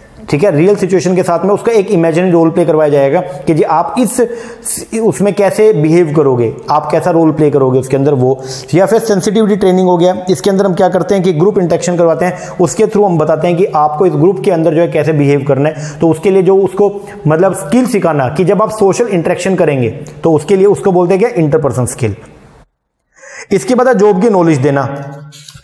अब एम्प्लॉय को जॉब की नॉलेज कैसे कैसे देंगे? तो जॉब के बारे में नॉलेज देंगे सबसे पहले क्या? ऑन द जॉब एक्सपीरियंस इसके अंदर क्या करोगे? सबसे वाइडली यूज़ होने वाला है कि इस टेक्निक में आप क्या करोगे? उसको उस जॉब पे ले जाओगे। भाई ये जॉब है ये आपको सीखनी है ठीक है? उसको बोलते हैं क्या? ऑन द जॉब एक्सपीरियंस तो वो जब रियलिटी के अंदर देखेगा कि हाँ ये काम है तो वो उसको देख के ऑब्ज़र्व कर, ले, कर लेगा तो उसको बोलते हैं क्या? जॉब नॉलेज इस तरीके से भी जॉब नॉलेज दी जाएगी। दूसरा है बिहेवियर मॉडलिंग इसके अंदर क्या किया जाएगा कि हम क्या करते हैं? एक अप्रोच है सॉरी ये बिहेवियर मॉडलिंग जो है, ये थर्ड अप्रोच है उसकी, ऊपर वाले की इंटरपर्सनल की, जिसमें उसके बिहेवियर को मॉडलिंग करने का काम किया जाता है। ठीक है ना? जॉब की नॉलेज कहते हैं? वो पहला तो हो गया ऑन द जॉब ठीक है जॉब पे ले जाओ। दूसरे नंबर पे आएगा क्या? कोचिंग कोचिंग दे करके। मतलब इसके अंदर बेसिकली क्या? In coaching training is place under a particular supervisor एक सुपरवाइजर के अंडर उसको डाल दिया जाएगा who act as the instructor and teach the job knowledge and skill to the training और वो जो पर्सन है, वो कोच जो कोच रहेगा उसका, वो उसको कोचिंग देगा एक कंसर्न जॉब के बारे में। उसको बोलते हैं कोचिंग और एक होता है अंडर स्टडी अंडर स्टडी के अंदर बेसिकली जो है वो क्या होगा कि एक सुपीरियर है। कल को अगर वो सुपीरियर जो है वो क्या होना है? उसे रिटायर होना है। ठीक है? तो वो क्या करेगा? वो पहले पहले देख लेगा कि मेरा सक्सेसर कौन होगा तो उसके लिए वो एक बंदे को चूज़ करेगा, बोलेगा, यार, ये बंदा मेरी पोस्ट पे आ सकता है, वो उसको अपने साथ रखना शुरू कर देगा। तो वो उसके साथ रहते रहते जो है वो नॉलेज लेगा कि कल को जब मैं इस पोस्ट पे आऊँगा तो इस पोस्ट से मुझे करना क्या है? तो इसको बोलते हैं आप लोग क्या? अंडर स्टडी तीन तरीके से जो है वो उसको आप लोग जो है जॉब की नॉलेज देते हैं। फिर आप उसके अंदर क्या और कौन सी स्किल सिखाएँगे? ऑर्गेनाइजेशन की नॉलेज देनी है। आप ऑर्गेनाइजेशन की नॉलेज के लिए आप जॉब रोटेशन करवा। जॉब रोटेशन के अंदर आप उसको अलग अलग जो है जॉब के अंदर भेजते रहते हो, जिससे उसको पता चलता रहेगा, ठीक है, कि अलग अलग कंसर्न डिपार्टमेंट में क्या काम हो रहा है? फिर आपका मल्टीपल मैनेजमेंट मल्टीपल मैनेजमेंट के अंदर आप बेसिकली क्या एक जूनियर बोर्ड डेवलप किया जाता है, ठीक है? वहाँ पे बहुत जूनियर बोर्ड जो होता है वो बेसिकली क्या करेगा ऑर्गेनाइजेशन की प्रॉब्लम को सोल्व करने का काम करता है। तो उसको उसके अंदर डाल दिया जाएगा। तो उससे उसको क्या होगा कि अलग डिपार्टमेंट को कैसे मैनेज करना है तो वो स्किल उसके अंदर आ जाएगी। फिर है जी आपका जनरल नॉलेज आप जनरल नॉलेज के अंदर आप उसको स्पेशल कोर्सेज भी करवा सकते हो स्पेशल मीटिंग का हिस्सा भी करवा सकते हो जहाँ पे वो देखेगा मीटिंग के अंदर कैसे डिस मेकिंग हो रही है। स्पेशल रीडिंग जो है वो भी करवा सकते हो जैसे अलग अलग जर्नल्स उसको प्रोवाइड कर, करवा देना थीसिस दे देना ये सब ठीक है? उसके थ्रू आप उसके अंदर जो जनरल नॉलेज इंक्रीज कर सकते हो। फिर है जी आपका specific individual need specific individual need के अंदर बेसिकली क्या, कि जैसे स्पेशल प्रोजेक्ट के ऊपर आप उसको भेज दोगे, ठीक है? कोई प्रोजेक्ट चल रहा है, आप कल को उसने वही चीज़ सीखनी है। तो आप उसको एक्चुअल प्रोजेक्ट के ऊपर भेज दोगे और बोलोगे, जी, ये प्रोजेक्ट चल रहा है। आपको कल को यही काम सीखना तो आप देखो कि काम एक्चुअल में करना कैसे होता है। फिर होता है आपका कमेटी असाइनमेंट कमेटी असाइनमेंट के अंदर क्या एडो कमेटीज होनी होती है? ठीक है, उनको अपॉइंट किया जाएगा। वो डिस्कस करते हैं इवेल्यूट करती है ऑफ़र और ऑफ़र कर दिया suggestion related to the important aspect of the business तो उसको कमेटी का एक हिस्सा बना दिया जाएगा। कमेटी उसको जो है वो क्या करेगी? कमेटी को एक काम दिया जाता है और वो भी उस काम को कैसे पूरा करना है वो सीखता है वहाँ पर ठीक है? इसके अलावा अदर ऑफ़ द जो मेथड जो है, वो बता रखे कुछ लाइक कॉन्फ्रेंसिस हो गया। ह्यूमन रिलेशन को मेंटेन करने के लिए। लेक्चर आपको मैंने बता दिया ग्रुप डिस्कशन हो गया। एक होता है प्रोग्राम इंस्ट्रक्शन इसके अंदर बेसिकली जो है वो क्या होता है प्रोग्राम इंस्ट्रक्शन के अंदर इसमें it is based on certain behaviour laws के ऊपर ये काम करता है। इसके अंदर बेसिकली क्या री होगा, ये ध्यान रखना। जब अच्छा बिहेवियर करेगा तो उसको रिवॉर्ड दिया जाएगा और बुरा बिहेवियर करेगा तो उसको क्या पनिश भी किया जाएगा। री का मतलब क्या होता है rewarding a correct response and punishing a wrong one major feature जो है पीआई का प्रोग्राम इंस्ट्रक्शन टेक्निक का is that it offer immediate feedback on whether the training has answer the question correctly और नोट उसको बोलते हैं, आप लोग क्या प्रोग्राम्ड इंस्ट्रक्शन ओके हाँ जी, लो जी, ये ये चैप्टर अपना ट्रेनिंग भी कंप्लीट और आज का आखिरी चैप्टर जो है, ये वो रिप्लेसमेंट चार्ट वाला यहाँ आ गया, गलती से. लो जी, एक मिनट को ये है, ये गलती से ना यहाँ पे चैप्टर नंबर फाइव आपकी बुक के अंदर तो दे रखा है चैप्टर नंबर फाइव जो है, वो है आपका सक्सेशन प्लानिंग का। अब सक्सेशन प्लानिंग बेसिकली क्या होता है? अगर मैं बात करूँ सक्सेशन प्लानिंग का तो हम बोलते हैं क्या सक्सेशन प्लानिंग के बारे में? The absence of the succession plan अगर आपको ये नहीं पता, जैसे मान लो टॉप सक्सेशन प्लानिंग किसके लिए होता है? टॉप पोजीशंस के लिए। टॉप पोजीशन कल को जो है वो क्या हो रही है? खाली हो रही है। मान लीजिए कि जो वहाँ पे एमडीज बैठे हैं या जो सीईओ था, कल को अगर वो छोड़ के जाएगा, ठीक है, वो रिटायर होगा तो उसकी जगह पे किस बंदे को बिठाओगे? तो उसके लिए प्लानिंग जो होती है ना, उसको बोलते हैं सक्सेशन प्लानिंग कि कौन पर्सन जो है, वो उसको क्या करेगा सक्सीड करके उस पोजीशन के ऊपर पहुंचेगा, ठीक है? कौन सक्सेसर बनेगा? उसके लिए जो प्लानिंग की जाती है, उसको बोलते हैं सक्सेशन प्लानिंग अगर आपने सक्सेशन प्लानिंग नहीं किया, और जो टॉप लेवल का बंदा छोड़ के चला गया तो भाई तुम्हारे तो ये, तुम्हारा जो जहाज़ है अगर उसका कैप्टन ही छोड़ के चला गया तो जहाज़ तो किसी भी दिशा में चला जाएगा। उसके लिए सक्सेशन प्लानिंग पहले की जाती है, ताकि एक नए कैप्टन को पहले से तैयार किया जाता है, कि जब पुराना कैप्टन छोड़ के जाए तो नया कैप्टन उसी टाइम जो है पूरी उस कमान जो है वो संभाल ले ओके तो उसको बोलते हैं सक्सेशन प्लानिंग इसमें succession planning is the process ये एक प्रोसेस है, जिसमें हम एंश्योर करते हैं एक suitable supply of the successor for current and future senior और key job assigning for the business strategy so that ताकि the career of the individual can be plan and manage to optimise the organisation need and the individual aspiration okay तो उसको बोलते हैं आप लोग क्या? Succession planning जो purpose है सक्सेशन प्लानिंग का is to identify succession planning में हम क्या करते हैं? आइडेंटिफाई करते हैं और डेवलप करते हैं पीपल को, लोगों को to replace the current job holder in the key position जो की पोजीशन के ऊपर लोग बैठे हैं, जो बड़े बड़े टॉप पोजीशन में जो लोग बैठे हैं, कि कल को अगर उनको क्या करना है, आपको रिप्लेस करना है तो उसके लिए सक्सेशन प्लानिंग की जाती है। Through succession planning company assure a steady flow of the internal talent internal talent को ही कंपनी जो है वो लेके जाती है, ठीक है? कंपनी के बंदे, जो कंपनी को लगता है कि ये लोग जो है वो आगे जा सकते हैं to fill the important vacancies succession planning encourage करता है हायरिंग फ्रॉम विद इन ये जनरली बात करता है हमेशा कि आप कंपनी के अंदर के लोगों को जो है वो क्या करो टॉप पोजिशन में लेके जाओ। And create a healthy environment जहाँ पे एम्प्लॉई हैव जहाँ पे एम्प्लॉय को ये भी लगे कि हाँ यार, बाकी एम्प्लॉय को भी लगे कि देखो ये हमारा बंदा लग गया ऊपर अब ऊपर पोस्ट पे। कल को हमारे भी चांसेस हैं क्योंकि अगर आप बाहर के किसी बंदे को टॉप पे बिठा दिया तो लो, लोगों को लगेगा कि यार हमारा तो ग्रोथ खत्म ही हो गया। क्योंकि कंपनी जब भी टॉप पोजीशन आएगी तो किसी बाहर के लोगों को लेके आएगी। तो जनरली यहाँ पे कंपनी का यही सिस्टम रहता है कि जब कोई पोजिशन खाली होती है तो कंपनी वहाँ पर अपने बंदों को जो है रिक्रूट करने की सोचती है। ठीक है? फिर बोलता है it help in identifying the human shortage and the skill shortage before opening occurs thereafter it become easy to groom the इसलिए ये ज़रूरी है कि हम पहले से ग्रूम कर दे क्वालिफाइड कैंडिडेट को फॉर द फ्यूचर वैकेंसीज के लिए। Organisation is thus assured of the continuity of the operation and the better qualified incumbent इसके लिए हम लोग जो वो क्या कहते हैं? रिप्लेसमेंट चार्ट बनाते हैं। रिप्लेसमेंट चार्ट के अंदर हम ये देखते हैं कि कौन बंदा किसको रिप्लेस कर सकता है। जैसे मान लो ए एक सुपीरियर है। ये कल को रिटायर होना है। तो इसके अंदर ना तीन बंदे काम करते हैं बी सी डी तो यहाँ पे ना हम ये देख लेंगे कि कल को अगर ए रिटायर होता है तो उसको जो है कौन पर्सन रिप्लेस कर सकता है, उसके लिए बनाया जाता है क्या? रिप्लेसमेंट चार्ट एक वर्ड होता है कैरियर प्लानिंग और एक होता है क्या? सक्सेशन प्लानिंग लगभग जो है वो कैरियर प्लानिंग सक्सेशन प्लानिंग जो है वो क्या है? सेम है। बस सक्सेशन प्लानिंग जो है वो हाइयर लेवल के लोगों के लिए की है और जो कैरियर प्लानिंग है वो सभी लोगों के लिए, वहाँ पर सभी लोगों के एम्प्लॉयज़ की, सभी लेवल के एम्प्लॉयज़ की बात की जाती है।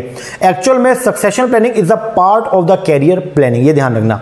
तो बोलते the term career planning and the succession planning are not synonyms ये सिनोनिम्स नहीं है बट दे आर सिमिलर लेकिन देखने में सिमिलर है।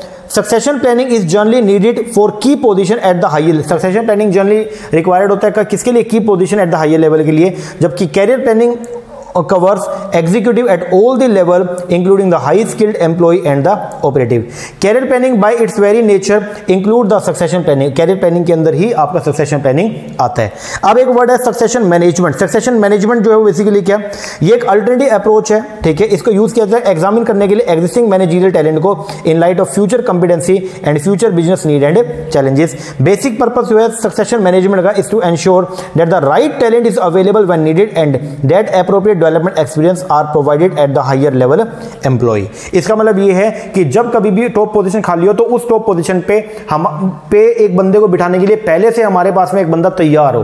पहले से वो ग्रूम्ड हो वेल ग्रूम्ड हो, ताकि जैसे वो पोजीशन खाली हो तो हमको परेशान ना होना पड़ेगा यार, अब वहाँ पे किसको लेके जाए? तो पहले से हमारे पास में सारा जो है वो प्लान होना चाहिए। उस चीज़ को पहले से सोच के रखना। उस पर्सन की, उस सक्सेसर की पहले से उसको ट्रेनिंग प्रोवाइड करना, उसका डेवलपमेंट करके रखना, वो सब आते हैं किसके अंदर? आपके सक्सेशन मैनेजमेंट में। आप सक्सेशन मैनेजमेंट के अंदर क्या क्या एक्टिविटी करते हो? आप उसके अंदर सबसे पहले जो है वो क्या करते हो? आइडेंटिफाई करते हो shortage of the leadership skill and the defining the requirement मतलब यहाँ पे आप बेसिकली ये देखते हो कि आप एस्टिमेट करते हो मैन पावर की रिक्वायरमेंट को, कि कल को अगर जॉब खाली होती है तो इस जॉब पे लगने के लिए कितने बंदों की ज़रूरत है, ठीक है? या किस पर्सन की रिक्वायरमेंट है तो पहले से आप वो डिसाइड करते हो।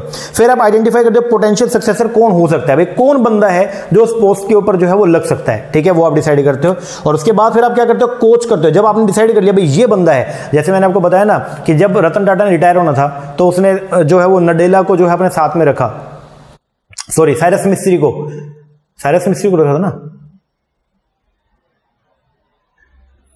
साइरस मिस्त्री को रखा आई थिंक हाँ साइरस मिस्त्री को अपने साथ में रखा, ठीक है? कई दिनों तक रखा उसको, ताकि उसको ग्रूम कर दिया पहले से कि कल को अगर वो रिटायर होगा तो उसकी जगह पे ये बंदा जो है वो क्या लग जाए। तो हम क्या करते हैं, फिर उसको कोचिंग देते हैं, उसको कोच करते हैं और साथ में ग्रूम करते हैं उस स्टार को। और जैसे ही वो क्या होगा रिटायर होगा रिटायरमेंट के टाइम पे जो है उस पर्सन को, जिसको हमने पहले से तैयार कर रखे उसको वहाँ पे लगा देते हैं। और सिक्योर करते हैं इसमें क्या top management commitment and support और इसके लिए टॉप मैनेजमेंट कमिटमेंट सपोर्ट बहुत ज़रूरी है। अगर वो नहीं होगा तो फिर सक्सेशन प्लानिंग हमारा पूरी तरह से क्या हो जाएगा फेल हो जाएगा।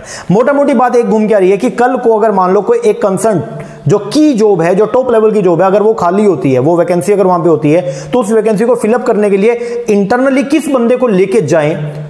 ठीक है? कौन सुटेबल है? कौन उस पोस्ट को बढ़िया तरीके से जो है वो मैनेज कर सकता है? उसके लिए हमारे द्वारा जो प्लानिंग की जाती है डेट इज़ तो सक्सेशन प्लानिंग ओके हाँ जी। लो जी, पाँच चैप्टर हमारे जो है वो कंप्लीट हो गए हैं। अब रह गया छठा, छह से लेकर आगे के ग्यारह। ओके तो वो करेंगे हम हमारी नेक्स्ट क्लास में।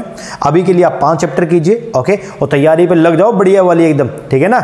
हाँ जी। लेक्चर कैसा लगा? कमेंट करके ज़रूर बताइएगा। अच्छा लगा? अच्छा अच्छा कमेंट कीजिएगा। कोई कमी लगी है तो वो भी बताइएगा। और अगर वीडियो अच्छी लगी हो तो उसको लाइक भी कीजिए और अपने दोस्तों के साथ में शेयर भी कीजिएगा, ताकि ये बेनिफिट रिविजन का उनको भी मिल सके। ओके हाँ जी सर, चलो, ये कीजिए, बाकी मिलते हैं हमारे नेक्स्ट सेक्शन में, तब तक के लिए थैंक यू वेरी मच